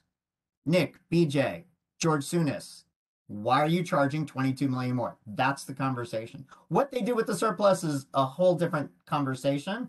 We just care what you charge unique, that's New York State money, ground rent and civic, should not be more than what it costs to run. Just that simple. Right. Yeah, there you go. All right, thank you, Pamit. Marianne Braverman, and then Nick, who doesn't know how to raise his hand, um, with this on the phone, which is fine. He texted me, and then and then Robin. Sorry. No, no, it's okay. And then Bob Schneck. So we'll, we'll do, we'll do Marianne, Nick, Robin, and, and then Bob Schneck. So go ahead, Marianne, you go, please. You're, you're unmuted.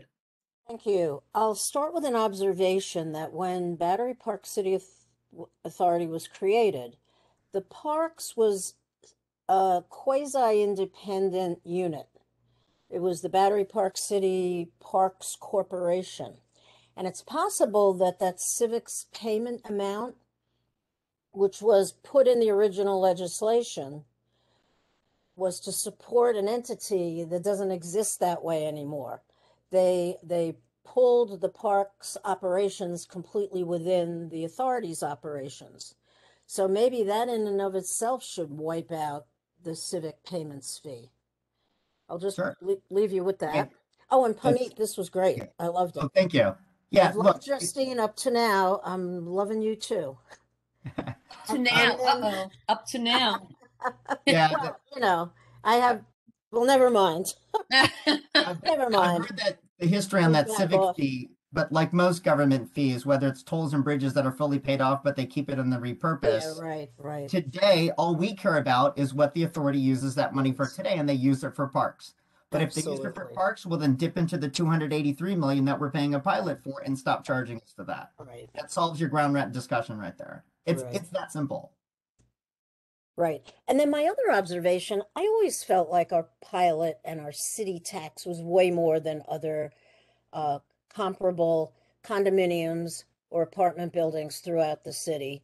And yet every year I'm told that the management company who runs our operations in in my condo that they go go to the city and fight it and so on and so forth and we have to pay what we have to pay so Yeah. that, that's like off kilter too and i thank you for just comparing us with tribeca It- and Yeah. By the way, that's Tribeca, whose They're zip richer than code we is are. worth more than 10282 zip code. Yep. Right. Thank So you for how that is that reminder, by the possible? way. Yeah. I intentionally picked that zip code to prove a point that we're paying 43% more in pilot taxes than the fourth wealthiest ni- zip code in the entire state of New York behind the Hamptons. So, yes, when you go dispute, you're you're operating under a, against a multivariable calculus equation of pilot that we're not going to fix overnight. But that's why I made the comment. That's something that the state and the authority have to recognize, and the data shows it. They've always said we've been treated equally. No, you haven't. I just have data that's 40% more. So whenever the authority or somebody says we're being equal, I would ask that they present the data so we can have a conversation of facts, not on words. right Thank you, Thank you. Pamit. And thank you, Marianne. Marianne, you done? yep i'm done thanks No, no problem. Thank you. All right, Nick, you're up. Hey there. Thanks, everyone. Can you hear me okay? Hey, Nick. Yep, we can hear you. Hi there. Hi, Pranit. Okay, great. Yes, it's important that we talk about facts because there's a lot of stuff that I think is being maybe not represented as forthrightly as it might be. So to start at the beginning, And- and and thank you, will- Pranit. It Nick, I really was a very nice, One it second, really Nick. a nice If I may, if I may, No, I, I, I, I think it's my turn to speak now, Pranit. I think I, I, I think it's my turn to Pamit, speak. You can Justine? rebut him, okay? Let, let Sure, Nick have sure. his two minutes and then you rebut him. So the first thing I want to kind of correct is the claim that scheduled ground rent increases will add 150, I'm sorry, a dollar, uh, $1.50 per square foot per year in cost to condo owners is just incorrect.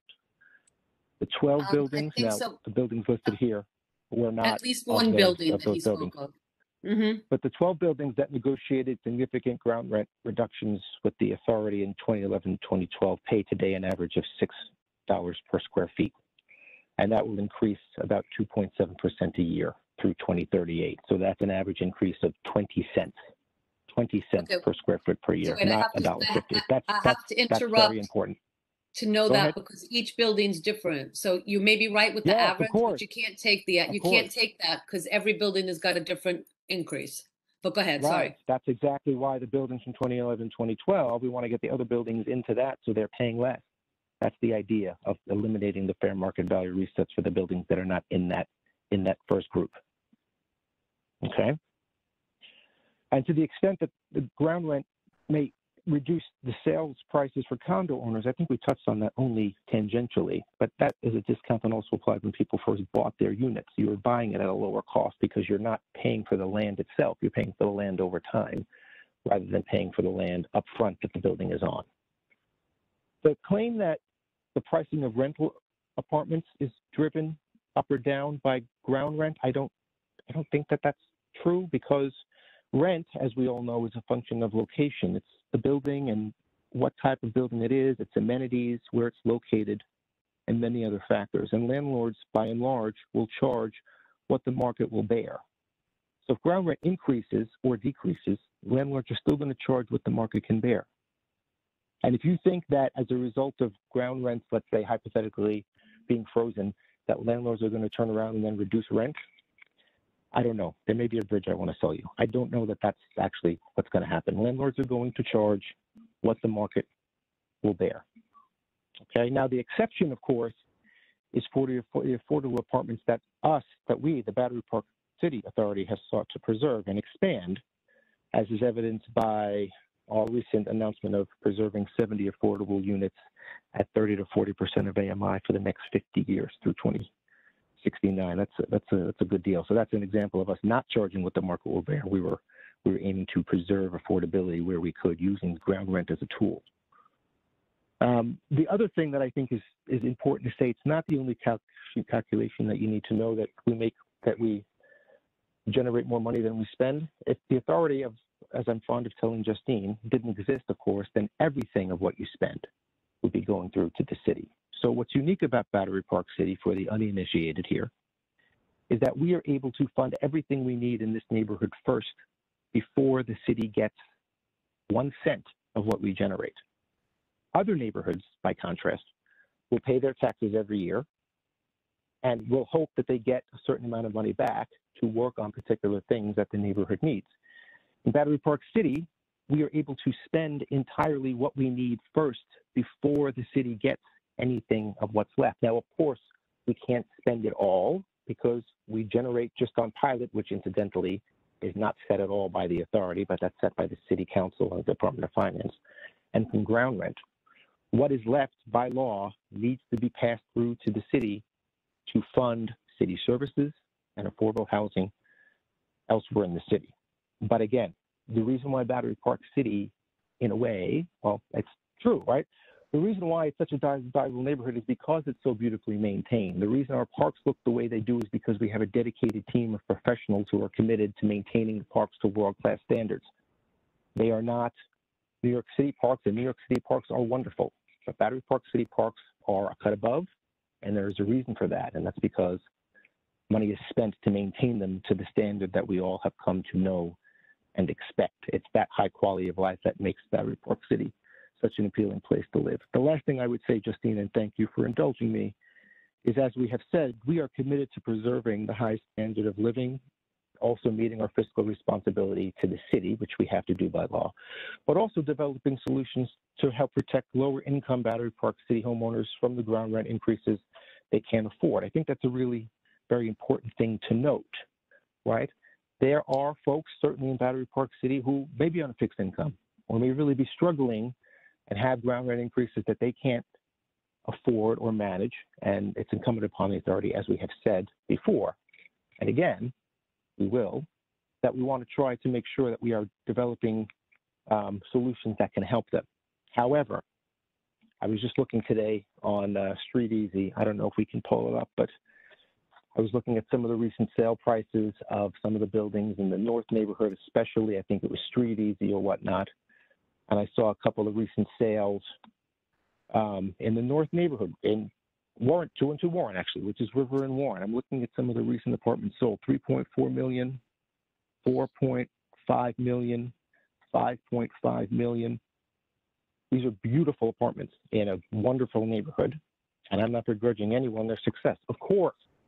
But I think it's going to be a very hard sell to the public to say someone who can spend 5.5 million dollars on an apartment also needs public dollars to subsidize their rent. It's going to be a very hard sell to the public. It's going to be a very hard sell to the city of New York and to the Battery Park City Authority Board. Thank you. Um, Thank you, Nick. Um, all right, so I'm gonna respond a little bit to you and then, I- and then I will, um, go to Bob and Robin, sorry. yeah, and Um, just if I can get a chance to just Yes, share yes. perspectives on those items as well, would be great. Yes, I'll let you, I'm sorry, I keep pushing the other folks back, but I'll let you speak since it was your presentation, but I'm gonna say first. So going to what you just stated about the apartments in the North neighborhood for those sale prices, I don't know the answer to that, but my question is to comparatively is, what did they pay for them? Did they pay more, the same, or less than what they sold for? And I, we, I don't know the answer, nor would you, maybe it's someplace in there, but that's a question that lends color to your position um, going to your point about um, the landlords and how um, you're not so sure that landlords uh, increase rent based on the ground rent or taxes or decrease rent based on the on the on the taxes or ground rent. So one thing that I heard and have heard in uh, repeatedly from um, landlords now, not the gateway landlords because they're not talking to me, but I'm talking about the that sponsors and landlords in the condo buildings where they have apartments that they've owned and they rent out to other people. They say that they're not making ends meet because their condo charges, which include the pilot, the, the ground rent, the civic fees, and the common charges to run the building, are so high that they cannot make ends meet because they can't, even the market rate rents are not high enough to cover their costs. That tells you that there's a problem with the cost of the ground rent and the taxes and the common charges and that we're struggling. Um, you know, deals that you've made. Oh, and then you said, how would, why would any decrease in um, ground rent or taxes be passed on from landlords to tenants? Well, going to Pamit's point about looking into your state legislators and being involved in elections, um, there's a bill out there that has been on the table and has not passed yet, caused prohibition against good eviction without good cause. Part of that says that as Good long as it's will be huge. That'll yeah, it would be huge. That's huge. very But helpful. exactly, the, the misnomer it's not even a misnomer, but it gets tagged as good as as good cause eviction. And I have seen uh, less than dubious fake news out there saying that that will hurt tenants and blah blah blah because who wants to be evicted? No, the full title of the bill is the prohibition against eviction without good cause. So if you're a tenant who has been paying your rent regularly, you know, put aside COVID when there's been, you know, a, a, moratorium on rents, but you've been paying regularly, the bill says that your landlord cannot evict you, constructively evict you by increasing the rent by more than 3% or 1.5% of the CPI, Consumer Price Index. That gives people at least the ability to stay in their home year after year after year. There is no prohibition to the landlord as to when someone leaves what they're going to charge for rent. That's what the rent can, the market can bear, and then that person comes in and pays with up increases. Doesn't mean it has to be three percent, but it's no higher than. And that is a way to push forward with legislation and with laws that control the growth of rental incomes, and that will help preserve affordability and preserve communities. And then to go to your point, um, one more thing about Tribeca Point. Yeah, you guys did a really great job, and thank you for saving 70 um, apartments in that building and preserving affordability. Um, and again, this just goes to my argument with Five World Trade Center and every, even even um, uh, at 250 Water Street and, and the Howard Hughes building. Looking at a place and saying, I gave, you know, and, and this is not fair, but I'm making it bigger than the authority.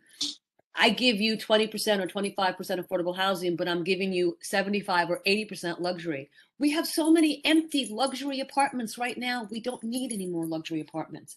So, you know, Five World Trade Center is public land. The Battery Park City Authority and Battery Park City is not particularly public land. This is privately owned Esh. We're a little division here. 250 Water Street is privately owned land. But I really think that we need to change the narrative here and stop focusing and saying 20% is affordable housing. No, it's not.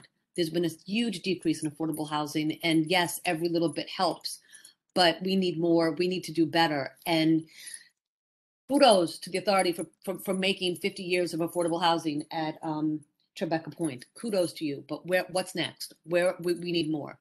Um, all right. So now I'm going to stop talking. We're working on it, you. Justine. We're We'll working talk- on it. we'll Don't keep- worry. We'll keep going. And I know you, I know because you've said so. And I, and I believe you. I believe BJ. I trust you. We've got to do more. We got to do more faster. Pamit, and then we're going to go to the, the board here because I got a lot of hands raised. Just um a couple questions, you know, comments to to Nick's points, which which are not just Nick's points, but others have said this, and, and there's some very very easy answers, because whoever those are, and Nick, I'm not just picking on you. Nobody goes back to the first slide in the presentation, page two. There's a $22 million surplus. That's where the conversation starts. So, in reverse order to your comments, Nick, when when people say those who sell a four million dollar property in North Battery Park at River and Warren should not get a subsidy, that's a factual incorrect statement. Number one, if we want to be equal, then everybody in New York City should pay the same thing that you want to charge somebody in North or South Battery Park. Number two, there is no subsidy because those people in the building that you're picking on, River and Warren, are paying a surplus on the ground rent. There is no subsidy.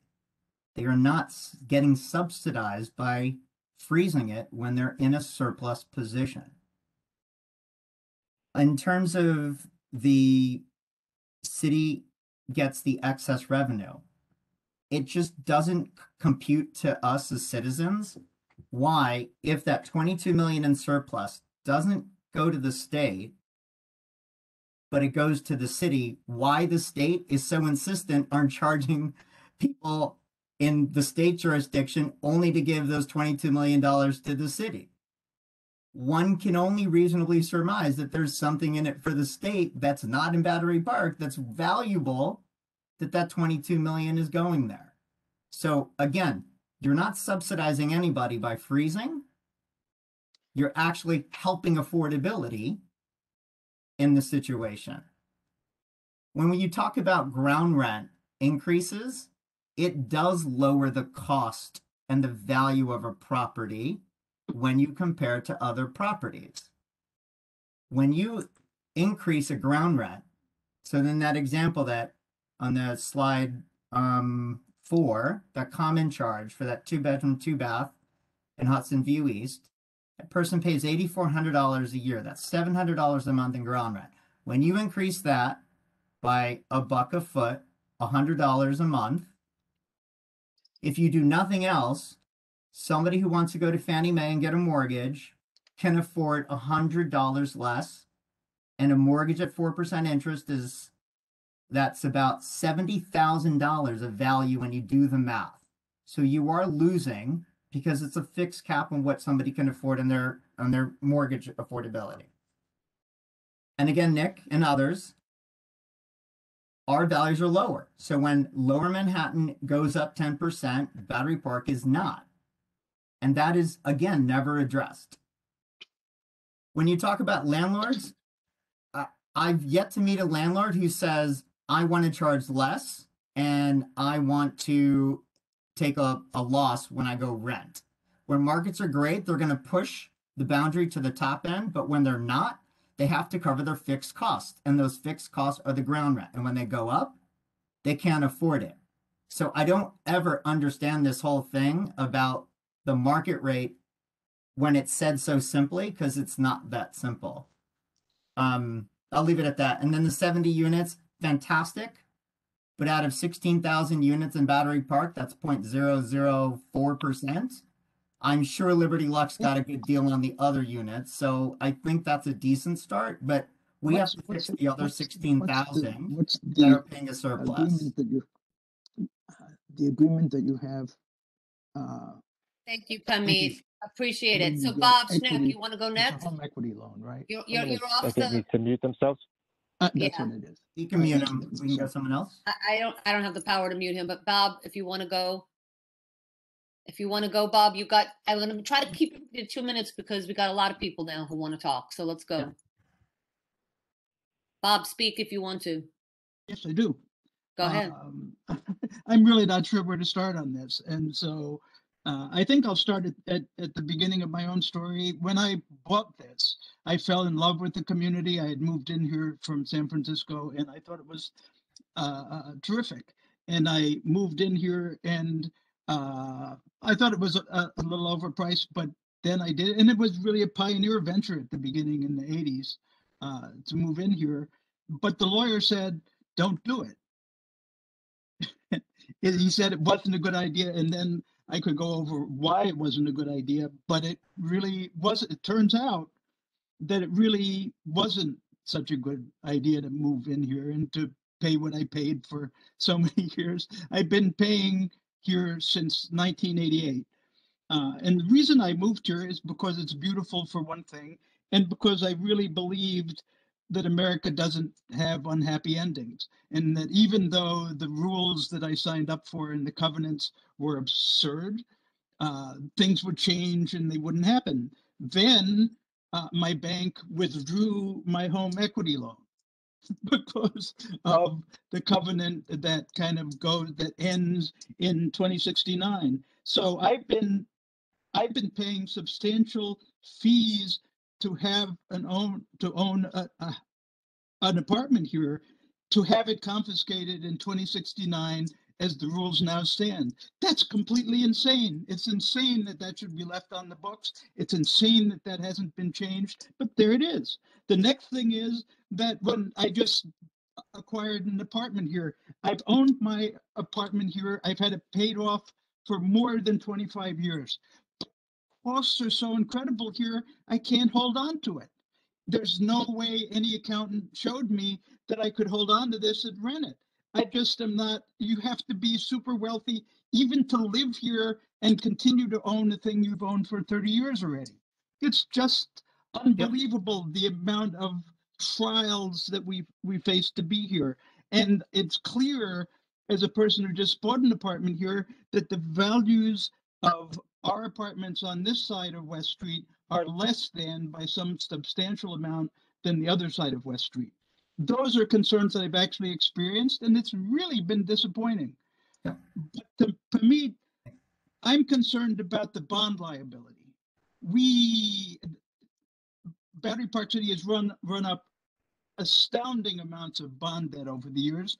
And when I've asked in open meetings of BJ what happens to that, he said, "Don't worry about it. You don't have to pay it." Well, my name's on the. Anyone who's an owner here is lined up for that liability, and so me, how is Yeah. that treated? How do we avoid that Sure. liability? Well, what you have is, I think, about six series of bonds that add up to $875 million. And those payments are all based on the excess revenue that's get paid out. Again, this goes into one of the reasons why Battery Park City is is a great vehicle for the state and the city, basically to issue bonds outside of the general funds, right?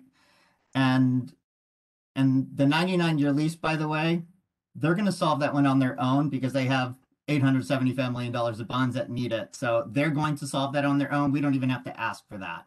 If that doesn't happen and they can't sell units here, that's going to affect their calculations. Um, the ground rent, again, which is what this is about, has $22 million of excess that's going to the city. We don't understand that. It's not fair, right? If you want to tax everybody fairly in the city, well, then tax everybody $22 million, you know, whatever base that is over, and do that to them. You want to put a flip tax on Battery Park? Fantastic. Put it on the rest of Manhattan and the other four boroughs. Um, this is about equality. And I think that keeps getting lost in this. And they just keep picking on. Um, so back to the bonds, sorry, is this is about bonds. I mean, the essence of this, and this is part of getting educated, right? The more we get educated, the longer these conversations happen, the more we get educated, the more we're going to learn, right? And so I, I hope this ends quickly because I think everyone can just be satisfied. But those bonds streams are coming from this ground rent revenue, period. And the pilot is being increased by the city, one can make the case, to support more bonds for the funds to go to the city and the state. This But is why our community has to get educated and be clear that we have been overtaxed And that is a true statement. I'd le- I'd love somebody to convince me we're not overtaxed because you're going to have to defend the pilot 43% data that we showed, and you're going to have to defend the surplus. And, And- I and- want to have that conversation in the same breath of everything else. And And some- that is I'm we happy need to to have stay that. Con- I'm. I'm happy to have that conversation. We keep using the word surplus. It's not surplus. I mean, Excess you can revenue. use the word surplus.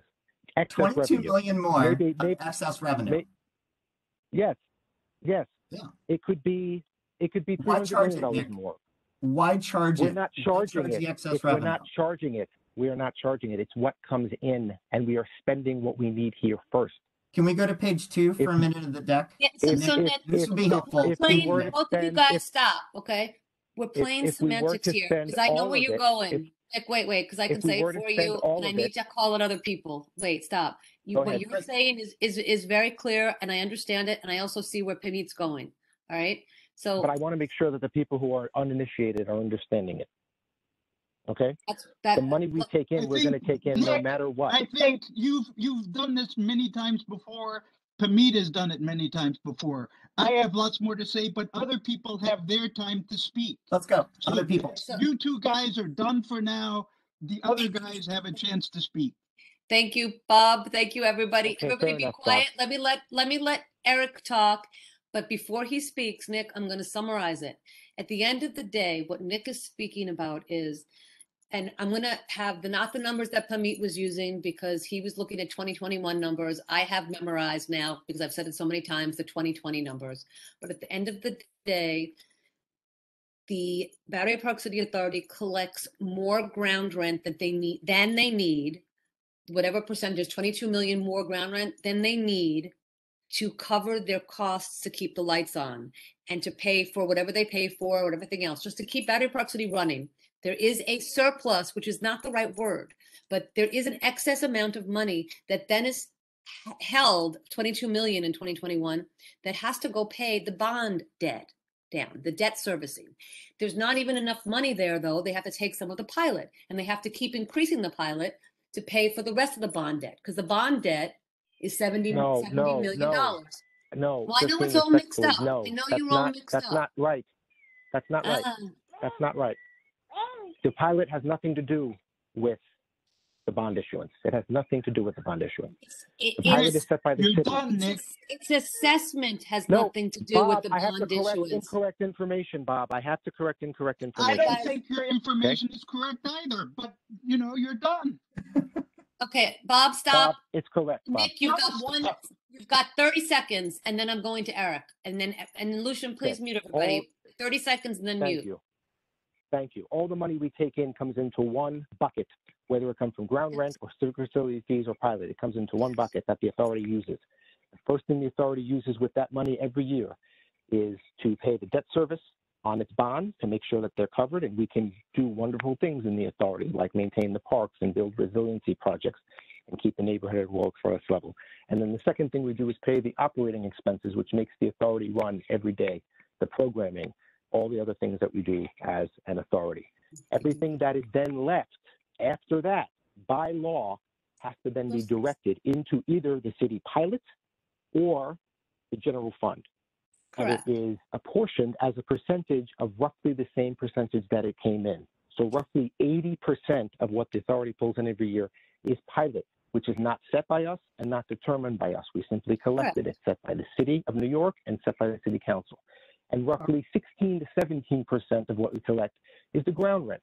So when it's all done and paid through to the city, roughly 80% of what's left goes to pilot and roughly 20% goes to the joint purpose fund. But the pilot does not go No, up. you- you don't mean because we have- pilot, We Nick. issue bonds. Nick, you don't mean Oh, pilot. okay, you mean Just all right, the general Justine, fund. just No, let no, me, no. I'm gonna, I'm Your gonna come in pilot- here. Your pilot does not go up because we issue bonds. Correct. That's correct. But no, you're Right, saying okay, pilot, you mean the thank you. general purpose fund, but let's It go- stop. I'm sorry, it goes, it All right, goes for to the general, Justine's- yes, it goes to the joint For, purpose for fund. Justine's instructions, I'm gonna mute everyone. All right, just for a second. Uh, Justine, I see that, I know you're gonna call on the hands. I also wanna, um, alert you to a couple hands in the attendee section. I'm aware. Um, So okay. yes, no, I see them. I've already told Brittany offline that, because I can't text her okay. correctly, that she's waiting. I it. see Matthews raised his hand. Thank you, though. I'd like to go to Eric. Go ahead, Eric, and then Robin. I, I, I, I kind of want to just put like a human element to it. I I think I'm frustrated because what I don't hear from Nick is solutions. I hear just like this is how it is, and what I hear from Pamit is a solution. And I uh, I've had a good. I brought this up before. I've had a good friend who was told. He texted me the other day. He was told on December first that his he had to move out because the owner that he was renting from could no longer afford to have the apartment. I can't afford this anymore. She she didn't uh, increase his rent. She just said, I got to sell the place. He had to move out. His child goes to daycare with my child. His child's been a little difficult with now moving to Brooklyn and having new kids and all this stuff. Um, she just the the owner just reposted, re-rented the apartment for fifty five hundred dollars. They were paying four thousand. So in thirty some odd days, they were out January 30, 30th. In 30 some odd days, she increased the rent by $1,500 because people around here are increasing it by $1,500, whereas two years ago, it was not this high. So I'm frustrated because we're pushing out real people, hardworking people. It's not like this guy, you know, he has a very good job. He has his wife has a good job. They have a baby on the way, and now they're being told that, well, I'm not making as much money as I could. So you have to leave, which means you have to leave, which means potentially I have to leave, which means leaving this board. We're not putting a, an actual human factor to this. And it's, it's frustrating because we're just bickering back and forth and I don't hear solutions yet. I don't hear how are we going to actually fix this? And how are we going to keep the people that are already here and renting and paying the ground rent and paying the monthly fees, paying the civic duties to stay here? So that's that, that's what I wanted to say. I appreciate both.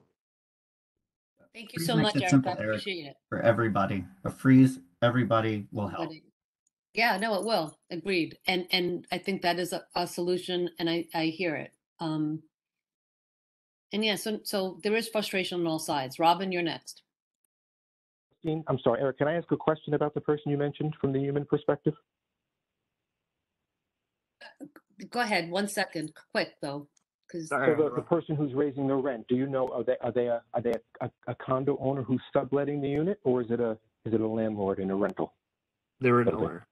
An They were an owner, condo They're owner, an owner. that that that's what I understood it to be. So it's a co- it's it's So the somebody person who's who's raising the rent on your friend is a condo owner who's raising the rent on someone who sublets the unit?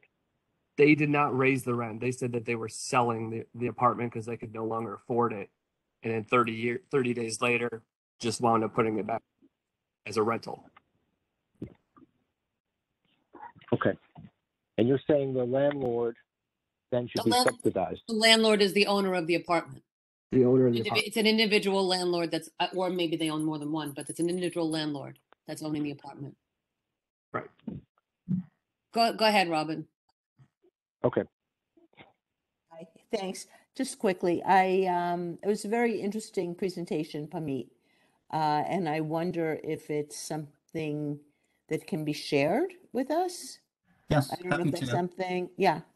And Um, happy to present it to your building, to any organizations. That's what the BPCNA is happy to do, and our goal is to do that, just to get people educated. Right. I think it's really important, and I would like to think of it in terms of a larger audience. So I'll work with Justine or Lucian to get a copy of it. So, and Awesome. that's all. Perfect. I'm done. Thank you very much. Thanks, Robin. All right, let's go to Brittany and then Matthew. So, um, Brittany, it's your turn. Lucian's going to unmute you, and then you can speak.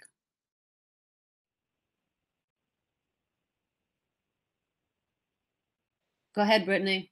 Hi, how are you?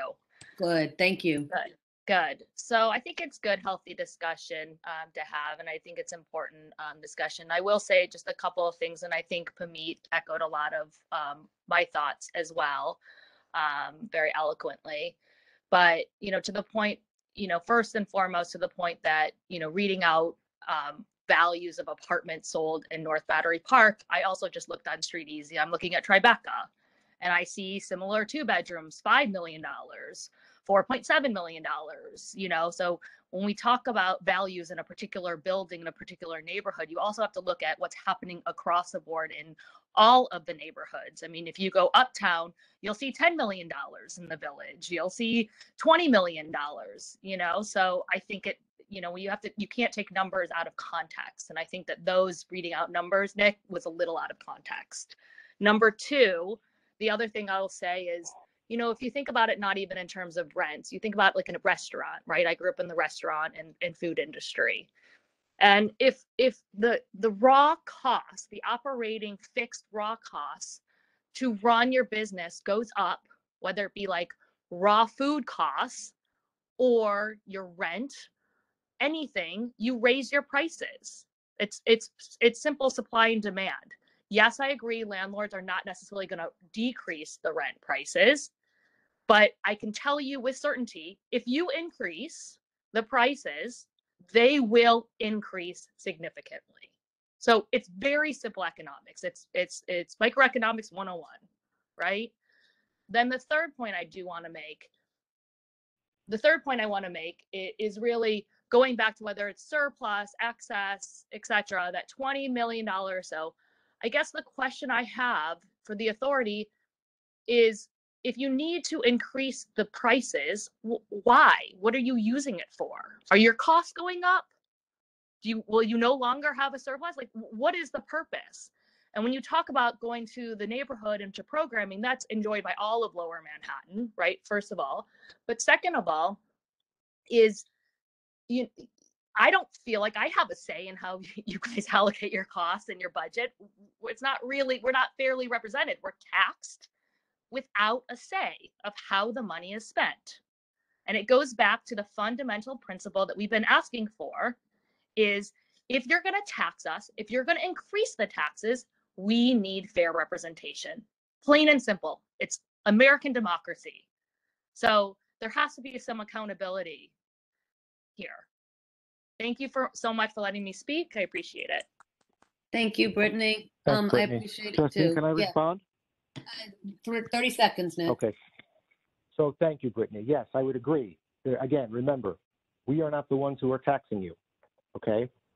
Pilot is set by the city of New York, not by the authority. We collect the taxes. We do not set the taxes. We are simply a pass-through mechanism for the city as a condition of us administering the neighborhood known as Battery Park City. The example I gave with the apartments wasn't just an example reading out prices. The example was someone who can spend that much money in an apartment does not need a government subsidy.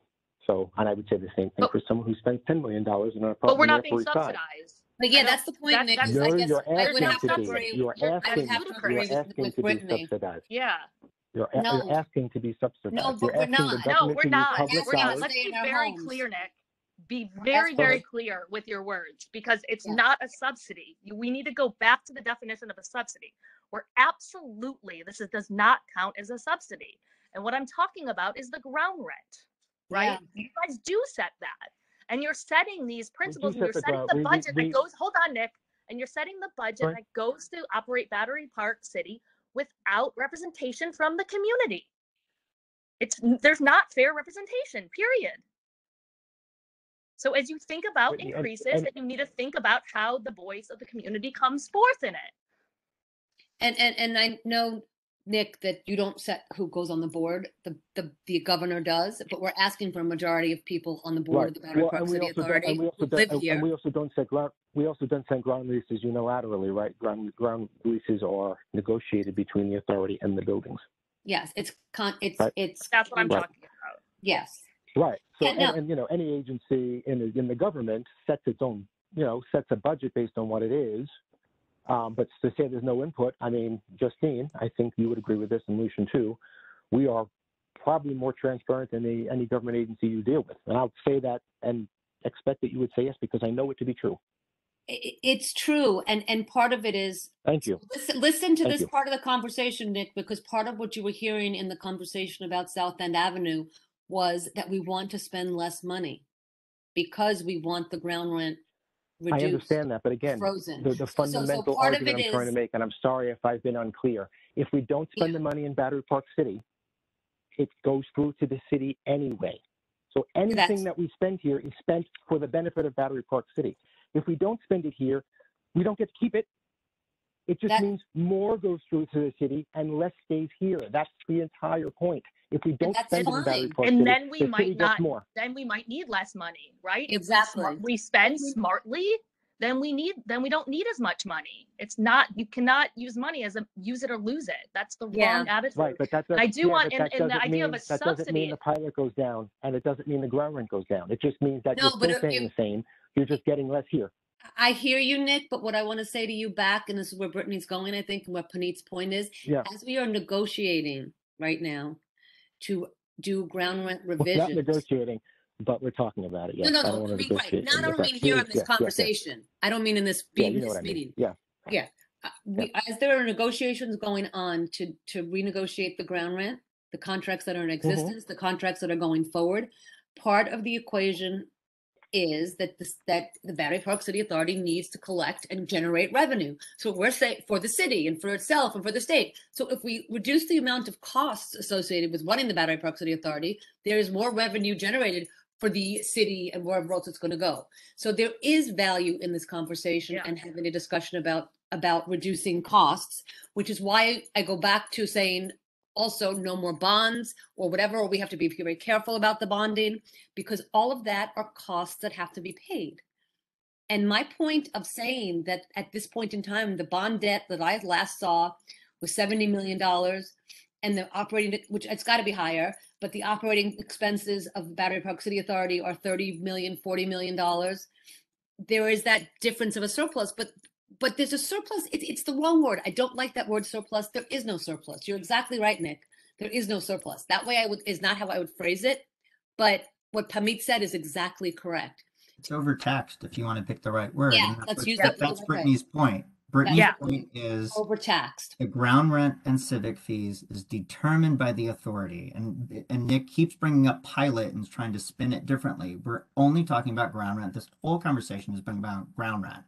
The ground rent is taxing more than the costs to run the distinct BPCA activities and expenses in their annual report. It's that simple. And that's the only point that they're not a talking tax about. to me. It's not a tax. It's not a tax. We're The ground talking rent about is a tax. It's having rent. meaning. What is it? It's not a tax. It's rent. It's rent. If you're renting the land on Nick, which the buildings are built. Nick, I'm I'm just uh, speaking Pamit, to you, trying to Pamit, words, it. words either have meaning or they don't. It's not tax. It's rent. They it's do. different. You can call it excess revenue. You can call it surplus. You can call it overtax. Whatever it is, it's the costs are less than whatever's being charged. And that's the only conversation the community keeps having, and it keeps getting Yeah. spun. There's $22 million of whatever you want to call it more than the costs. And we don't hear what the authority is doing about that. Instead of saying Leonardo DiCaprio and everything else, no one, you, and, and Eric mentioned this very clearly, and you didn't respond. We're not asking you to respond today. Take it back. Oh, I can respond. I can respond. I have responded, but I'll finish, respond again. Go ahead. Let me finish. The 22 million of more revenue than operating costs is the basis for the freeze as a solution. The representation is another issue. All those other things are additional, but there's 22 million more, and the ground rent that you're charging or want to discuss with other buildings is simple. Don't do it for anybody else, and all those that you have previous agreements, freeze everybody because there's 22 million that you don't need that's going to the city. Thank you. Okay. Can I respond? Um, But we should have others. I, I need to let Matthew another- go. It's I- getting I- later by the I- I- minute. So, so I no, do we need have to other respond to topics certain for things, though, tonight. Justine. and we do have I- more I- to I talk just- I- about. I, I, I do need to respond very briefly. So to answer Eric's question, I'm sorry, Eric, I kind of got pulled in a number of different directions. Well, we have said repeatedly, and I don't know how many of the conversations or meetings you've been in, we've done this a number of times over the past year or so. The authority stance is, yes, there are certain fair market value provisions built into ground rents that we agree wholeheartedly are unsustainable and need to be changed, or talking to the tune of 6% of the fair market value unencumbered. We agree that's unsustainable, and we want to work with buildings to make sure we are reducing that number, as is evidenced by the Tribeca Point Agreement, we're able to preserve affordability in exchange for a change in the ground rent calculation. We want to do that with other buildings. But the suggestion that buildings essentially will freeze what they are paying for the land itself, which continues to increase in value, it's not something that we can do. And Brittany, I'm sorry if I was maybe using a word that maybe wasn't the most accurate. I'm far from an expert. What we were saying essentially is these are public dollars because the land is publicly owned. So using those public dollars to essentially give back or have people who can otherwise easily afford it pay less money is not the fiscally responsible thing to do. And the city of New York would tell you the same thing. The city of New York would easily say, Battery Park City, look, they wouldn't call it excess revenue and they wouldn't call it surplus.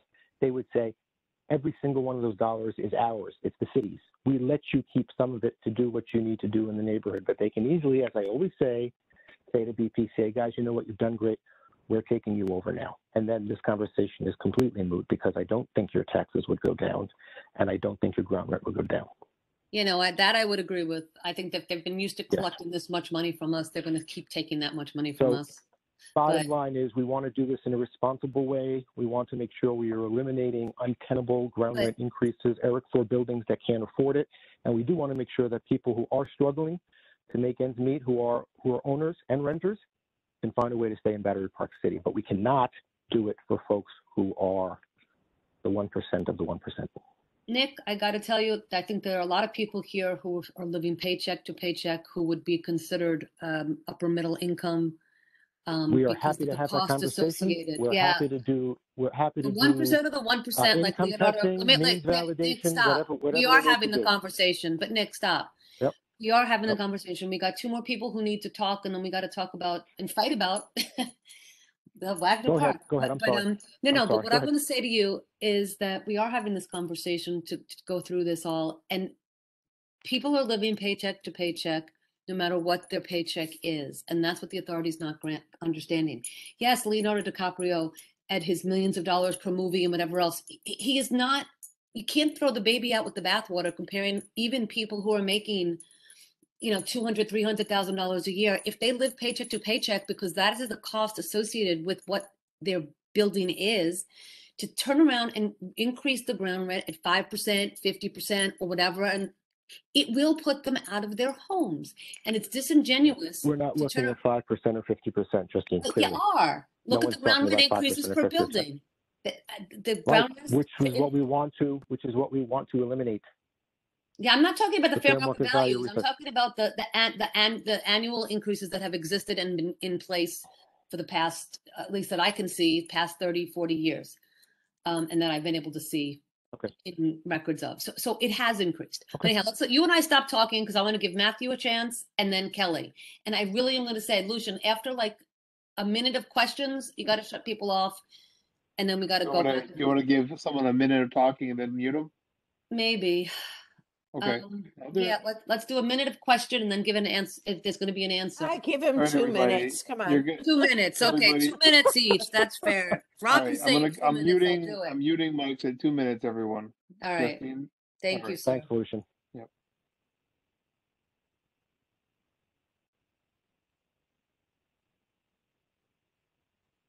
Matthew, go ahead. You're unmuted. Okay. Um, I feel very lucky to have come in right behind the two minute limitation. But uh, number one, I'll start with Pamit. Great, incisive presentation. The only thing I would take issue with is you cite correctly the unfairness that if you live in the Bronx, parks go into your taxes, but if you live here, you pay twice. Absolutely correct. The only problem with that is that's what low six figures. We're in the mid nine figures for resiliency, and if you live in the Rockaways or Breezy Point, that's folded into your taxes. We're paying the same or higher taxes here, but we're now going to saddle a multi hundreds of millions of dollars burden to pay twice for resiliency. But let's go to Nick. Um, Nick, you keep ignoring a crucial distinction. People asking to be bled less and to be extorted less is not the same thing as asking for a subsidy. That collides with this false narrative about DiCaprio and the three worst words you said tonight easily afforded, as if everybody here who, who might benefit from a ground rent deal can easily afford it because we're all Leonardo DiCaprio. That is not only a false narrative, it is a divisive and harmful narrative. and it is an excuse for doing nothing that is absolutely unconscionable. Moving to, And I didn't uh, say, I didn't say his I name haven't finished. tonight. You and I actually, you. I wrote I down when it. you said it. You said can easily afford it about 90 seconds ago. Those are your exact Matthew, words. keep Oh, going, yeah, keep no, going. I'm- I will keep. Yeah, Leonardo please don't take DiCaprio. that I from my didn't say two minutes. Leonardo DiCaprio. Nick, this is not your turn to didn't say speak. Nick, Please wait your stop turn. You'll have a chance to answer. Yeah, Nick, I'm trying to make this Okay. organized. Robert's rules. Okay, sorry. Go ahead, Matthew. You got, you got Okay. your time back. Nick, um, was the 2011 condo affordable affordability deal was that a subsidy? Was that fiscally irresponsible? Was that a giveaway? The 2011, 2012 condo deal, 11 Th- buildings This, were in it, a yes or no works here, was Nick. Was that an irresponsible subsidy and giveaway, or was that a legitimate move by the Battery Park City Authority? It saved building owners $280 million over 30 years. Was that a legitimate policy decision by the Battery Park City Authority, or was it a lavish, irresponsible giveaway to rich people? I wouldn't say it's a lavish, lavish giveaway. I'm saying the amount of money it saved people. That's that's the facts I have. I don't want to speculate on opinions. I'm giving you willing to facts. characterize asking 30 for the- seconds ago about can easily afford it, but now you don't want to characterize what the authority actually did that you're relying on as precedent. Second question What did condo owners give back in exchange during that negotiation for the 280 million? Without the deal in front of me, I don't know. I would have I'll to supply you the answer. The correct answer is they gave back nothing. $280 million just to preserve affordability, which raises the question why are you now nickel and diming condo owners by demanding an 8% flip tax, a commitment to fund undefined resiliency upgrades on property that people here don't actually own, all the while characterizing this as a subsidy and a giveaway for people who can easily afford it? Either the 2011 deal made sense, in which case you should do it again the way it was done in 2011, which is to say, in exchange for nothing, no concessions, no givebacks by condo owners, or you have to be prepared to say the 2011 deal was insane and it was a giveaway to rich people, and the Battery Park City Authority should never have done it. But I don't see any daylight between those two positions. It's one or the other. Matthew, that's your time.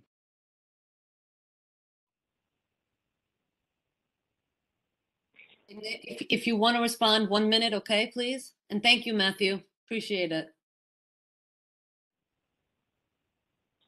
Um, no, I'm good. I, you know, again, like I said, we want to continue to work. I didn't use the fellow's name.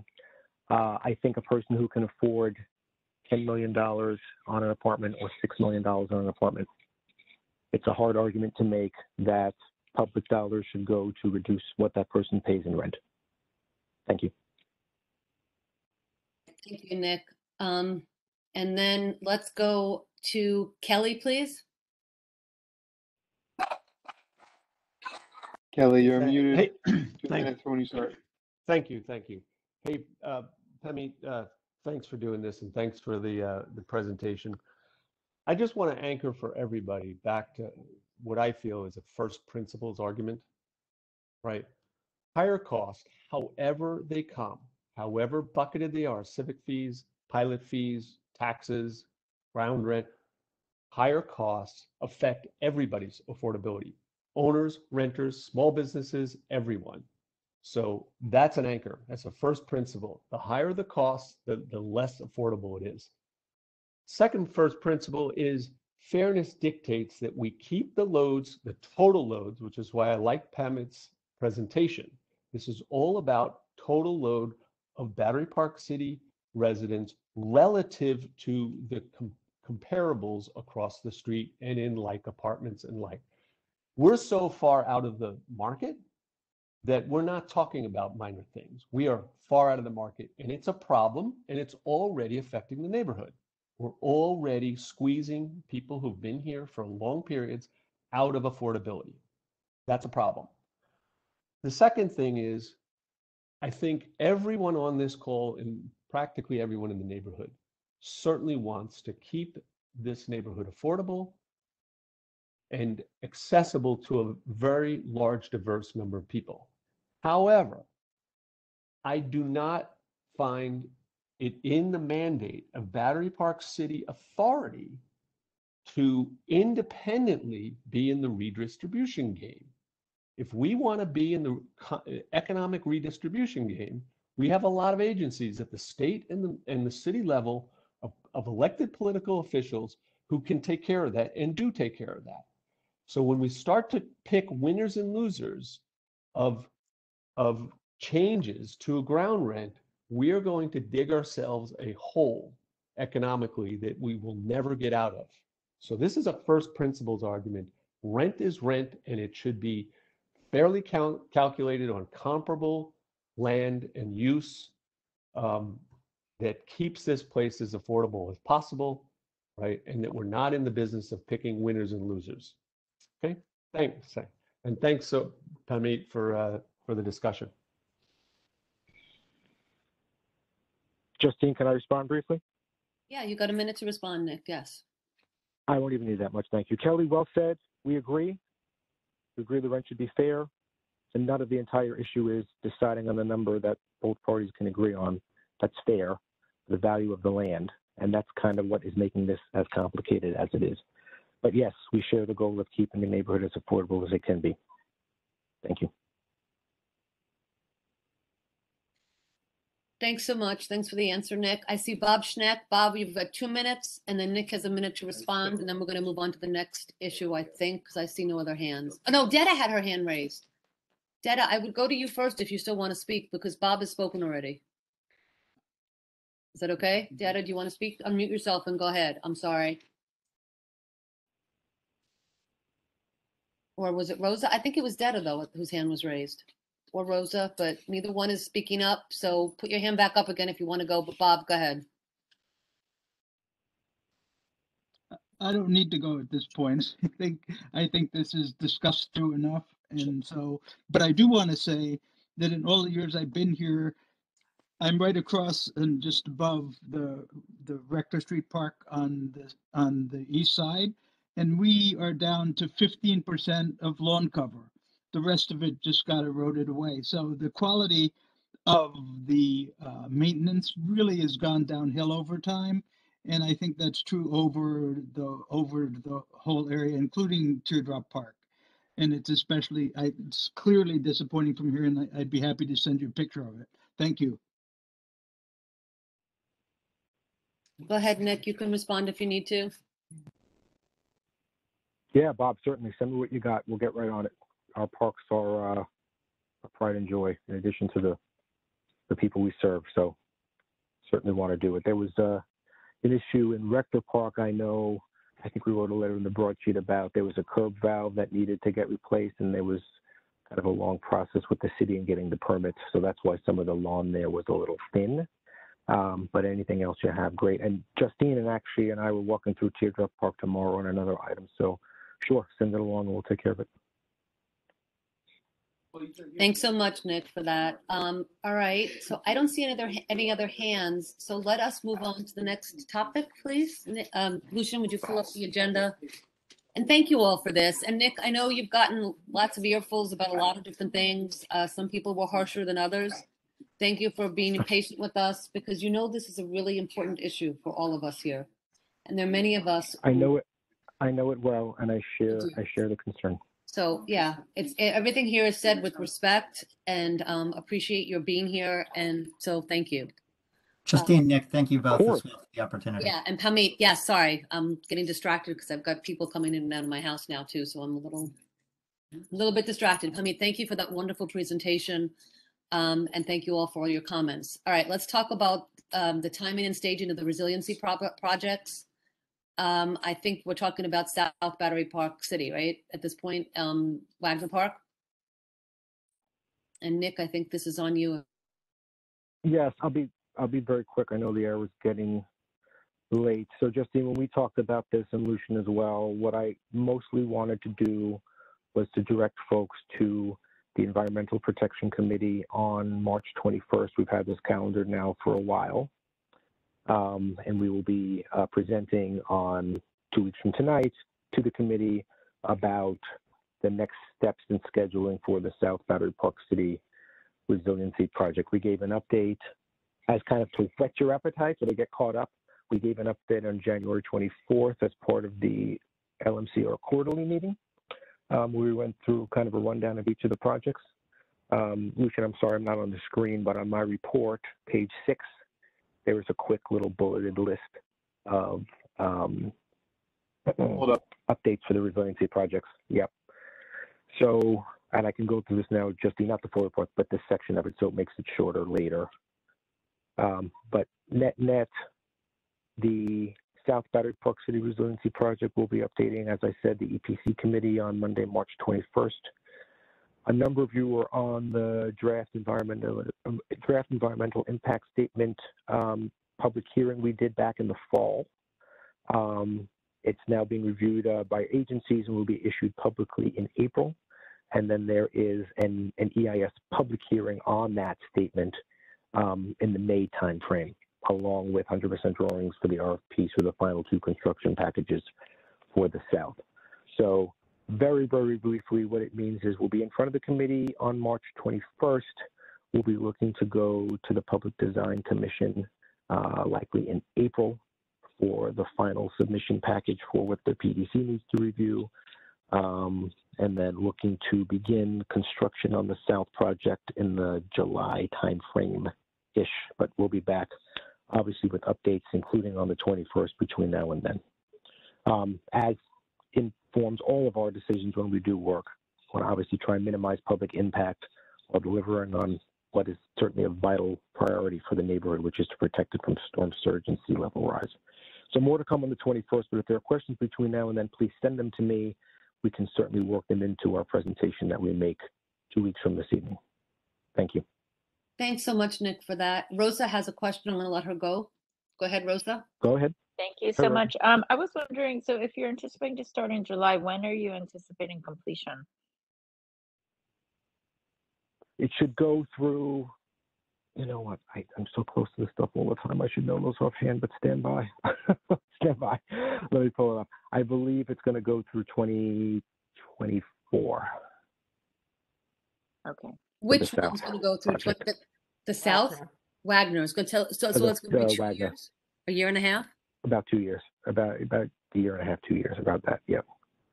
Let's see if I have it here. Yes, I will. I'll have, I'll have a firmer. I'll have a firmer timeline for you. I'll have a firmer timeline for you on the 21st. But yeah, roughly uh, roughly two years, I would say. And we don't have any pictures yet of, um, we don't have any pictures yet of what the building's going to look like? Oh no, we have it in the report, and then I can send it in some of the presentations we've made as well. It But in my looks- okay, report on page. There's Uh, that little one, wait, I do see the, the, the very far away, but I'm, I'm, I'm wondering about. yeah, the I can I building. can send I can send some bigger ones. Or Lucian, uh, what I'll do is I'll put in the chat some of the older the some of the presentations we've made. But yeah, we've done the we've done a, a bunch of times, a bunch of different angles of the new pavilion. Let's see if I can pull a good one up for you. Um, and the other thing I would note is, Justine, this is of interest to you. I know this committee has covered it as well. The question about interior drainage as well. We'll be talking about that on the 21st. The good news that we were able to bring forth was that those control houses that we had spent a good number of Yes. uh, resources and time on. Looks like they will now not, again, repeat, not be necessary due to uh, our working with, with New York City DEP. We're going to find a way to do the interior drainage in a, in a different way. So if this is the first you're hearing about it, folks, don't worry about it. it doesn't look like it's going to happen because we won't have to build these fairly large structures. But more to come on the 21st. And Lucian, I'll see if I can get you a couple of good pictures of the pavilion to put in the chat. That is so, so useful. Thank you. But yeah, okay, so I can see Yeah, yeah, here yeah, um, for in the middle, this is, this is from this side. What I wanted to present to folks, and I know that it would be nice to have this committee um, be party to the conversation. I want to present the other side, the view from uh, uh, the Ritz Carlton, well, the Wagner, I guess it's called now. But I want to see that Oh, side because that's more controversial. I mean, this is controversial because maybe people like it, maybe they don't. People don't want the trees cut down and replaced. People don't want the building bigger. But then there's real concerns, though, on another level of what it looks like from the other side. And I know that you guys made some changes. I don't know where it ended up just because I just got busy and didn't. I know you've presented it. I know I don't know it. So I was hoping this We committee presented would it, see and it. we'll and we'll go through it again on the 21st with some of the change. Some of the there's not a whole lot different, but it's based on what was approved by the city parks department and others. Let me see if Right. I kind of find a good view of it. I think we might have done something in April.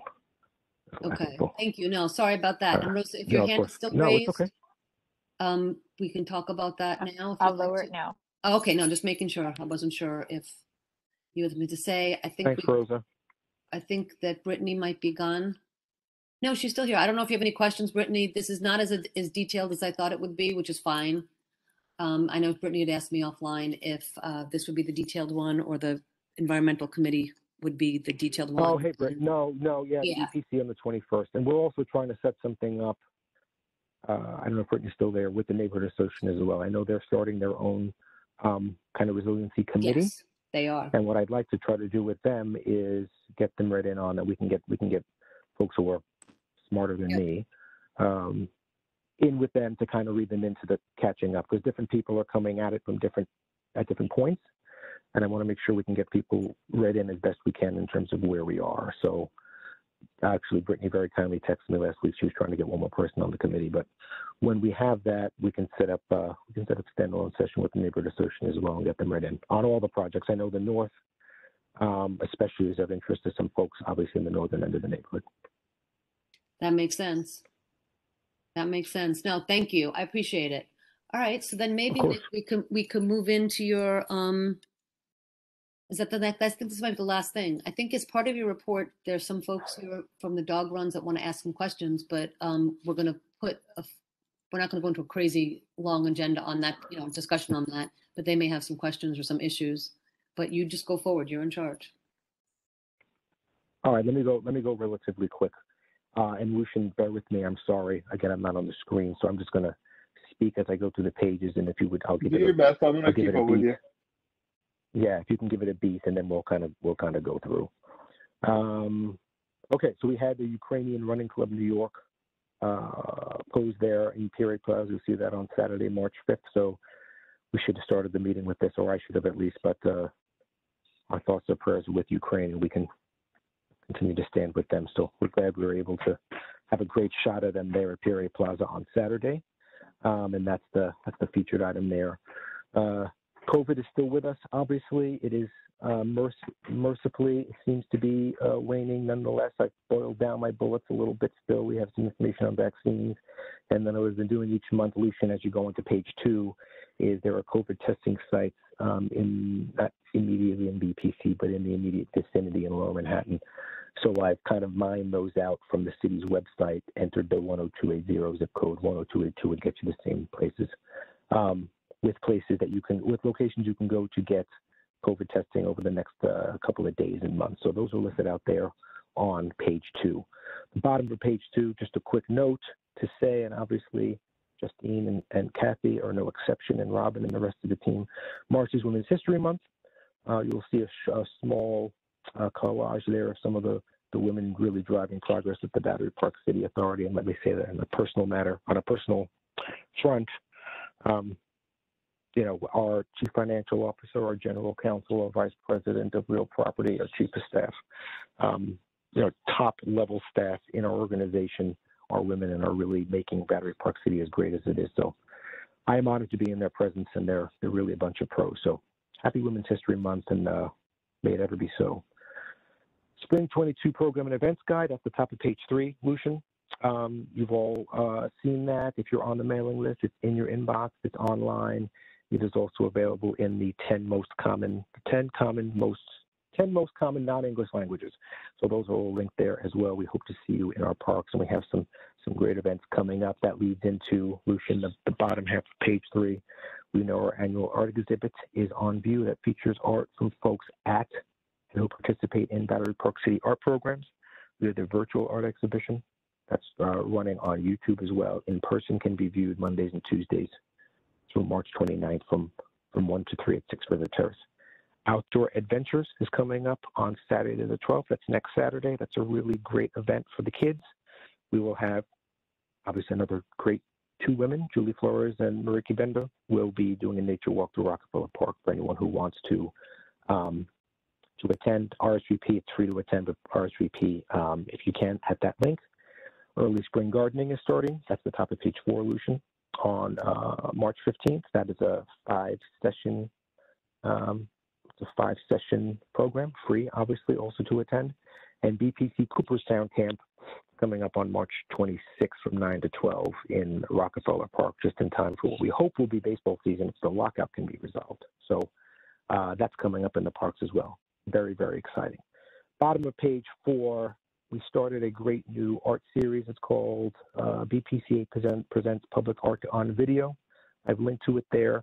But what it is is a little bit of a deep dive. They're not super long, but they're short little video vignettes about some of the artwork we have throughout Battery Park City with a new video dropping every Friday. Coming up this Friday is South Cove, and following Friday the 18th is Irish Hunger Memorial. But we have a, a nice introduction to the, to the program, and then uh, not super deep dives, but nice dives with some of the artists who worked on the, the world-class art collection uh, that calls Battery Park City home and that we work that we work uh, diligently to maintain.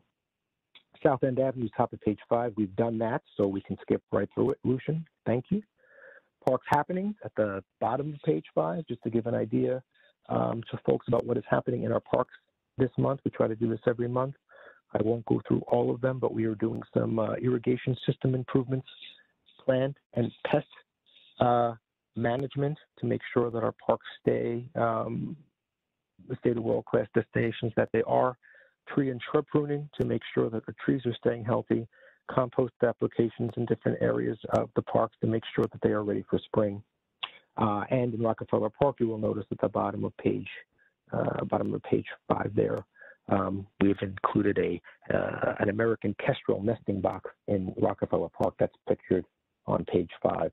The American kestrel is a very small uh, native falcon um, and as part of making Battery Park City a biodiversity haven, we are uh, installed a Kestrel box there to uh, see if we can draw the falcons here to Battery Park City. Really, really cool um, stuff. And the last thing I would note at the top of page six is we are conducting our park and street trash waste audit. So as we continue to work to be and build on our green legacy, we are um, encouraging folks to again try to reduce, reuse, or recycle what you bring into our to our parks, um, just as we do at the authority. When you can't, of course, please make sure that you're recycling. We have the bins pictured there.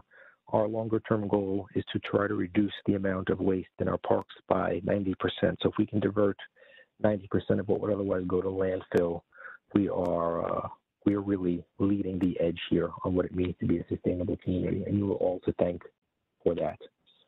Um, park lawns we know are closed uh, for the winter to reopen in uh, mid-April. We'll see if we can't push to perhaps get them open a little earlier. I don't want to commit Ryan to it because um, again, Bob, part of what gives the lawns a chance to heal from very uh, heavy use over the, the spring, summer, and fall seasons is the ability to be closed in the winter and kind of have some of that new seed um, take root, going back to some of those concerns about areas that the lawns may look thin.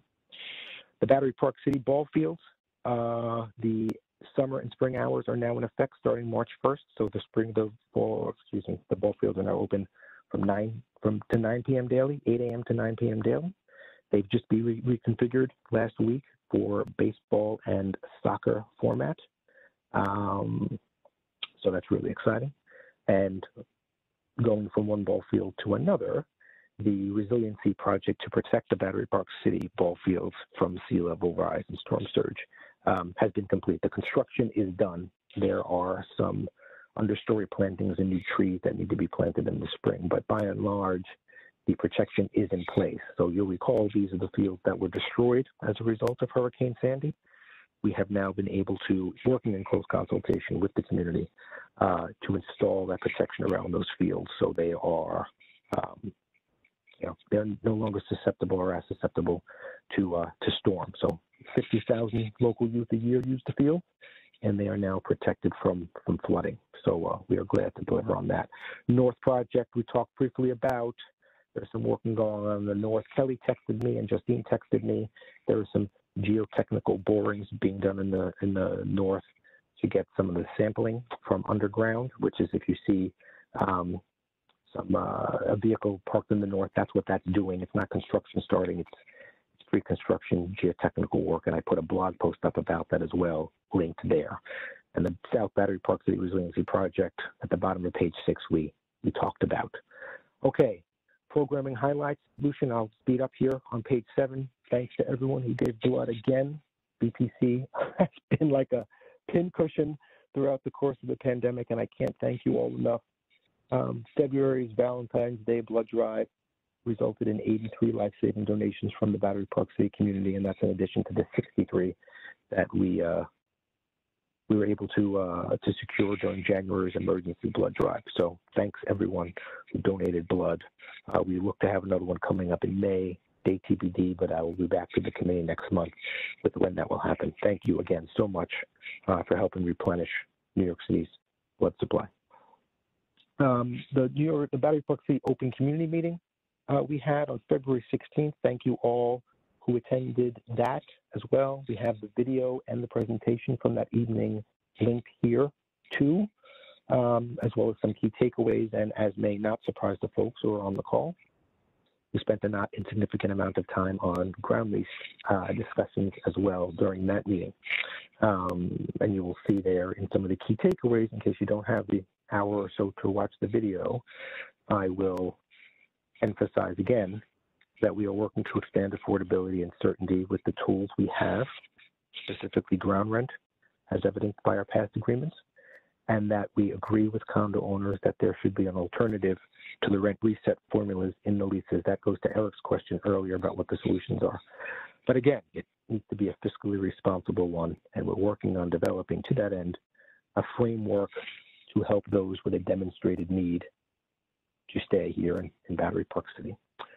Um, Mardi Gras House, what we did on March 1st, that was really fun. You'll see a picture there of the uh, park house decorated with uh, some festive decorations. So thanks to all who attended. Ready BPC we've done a couple of times, but that's still up because although it was beautiful today, it may still snow. It is March after all. Um, let's see. And that is mostly it. Lucian, you can go to the top of page nine. That is I think all not the same, but it's it's stuff that gets repeated each month. We just updated our board meeting notice, and then the top of page 10, which is the final page, mercifully, and thank you.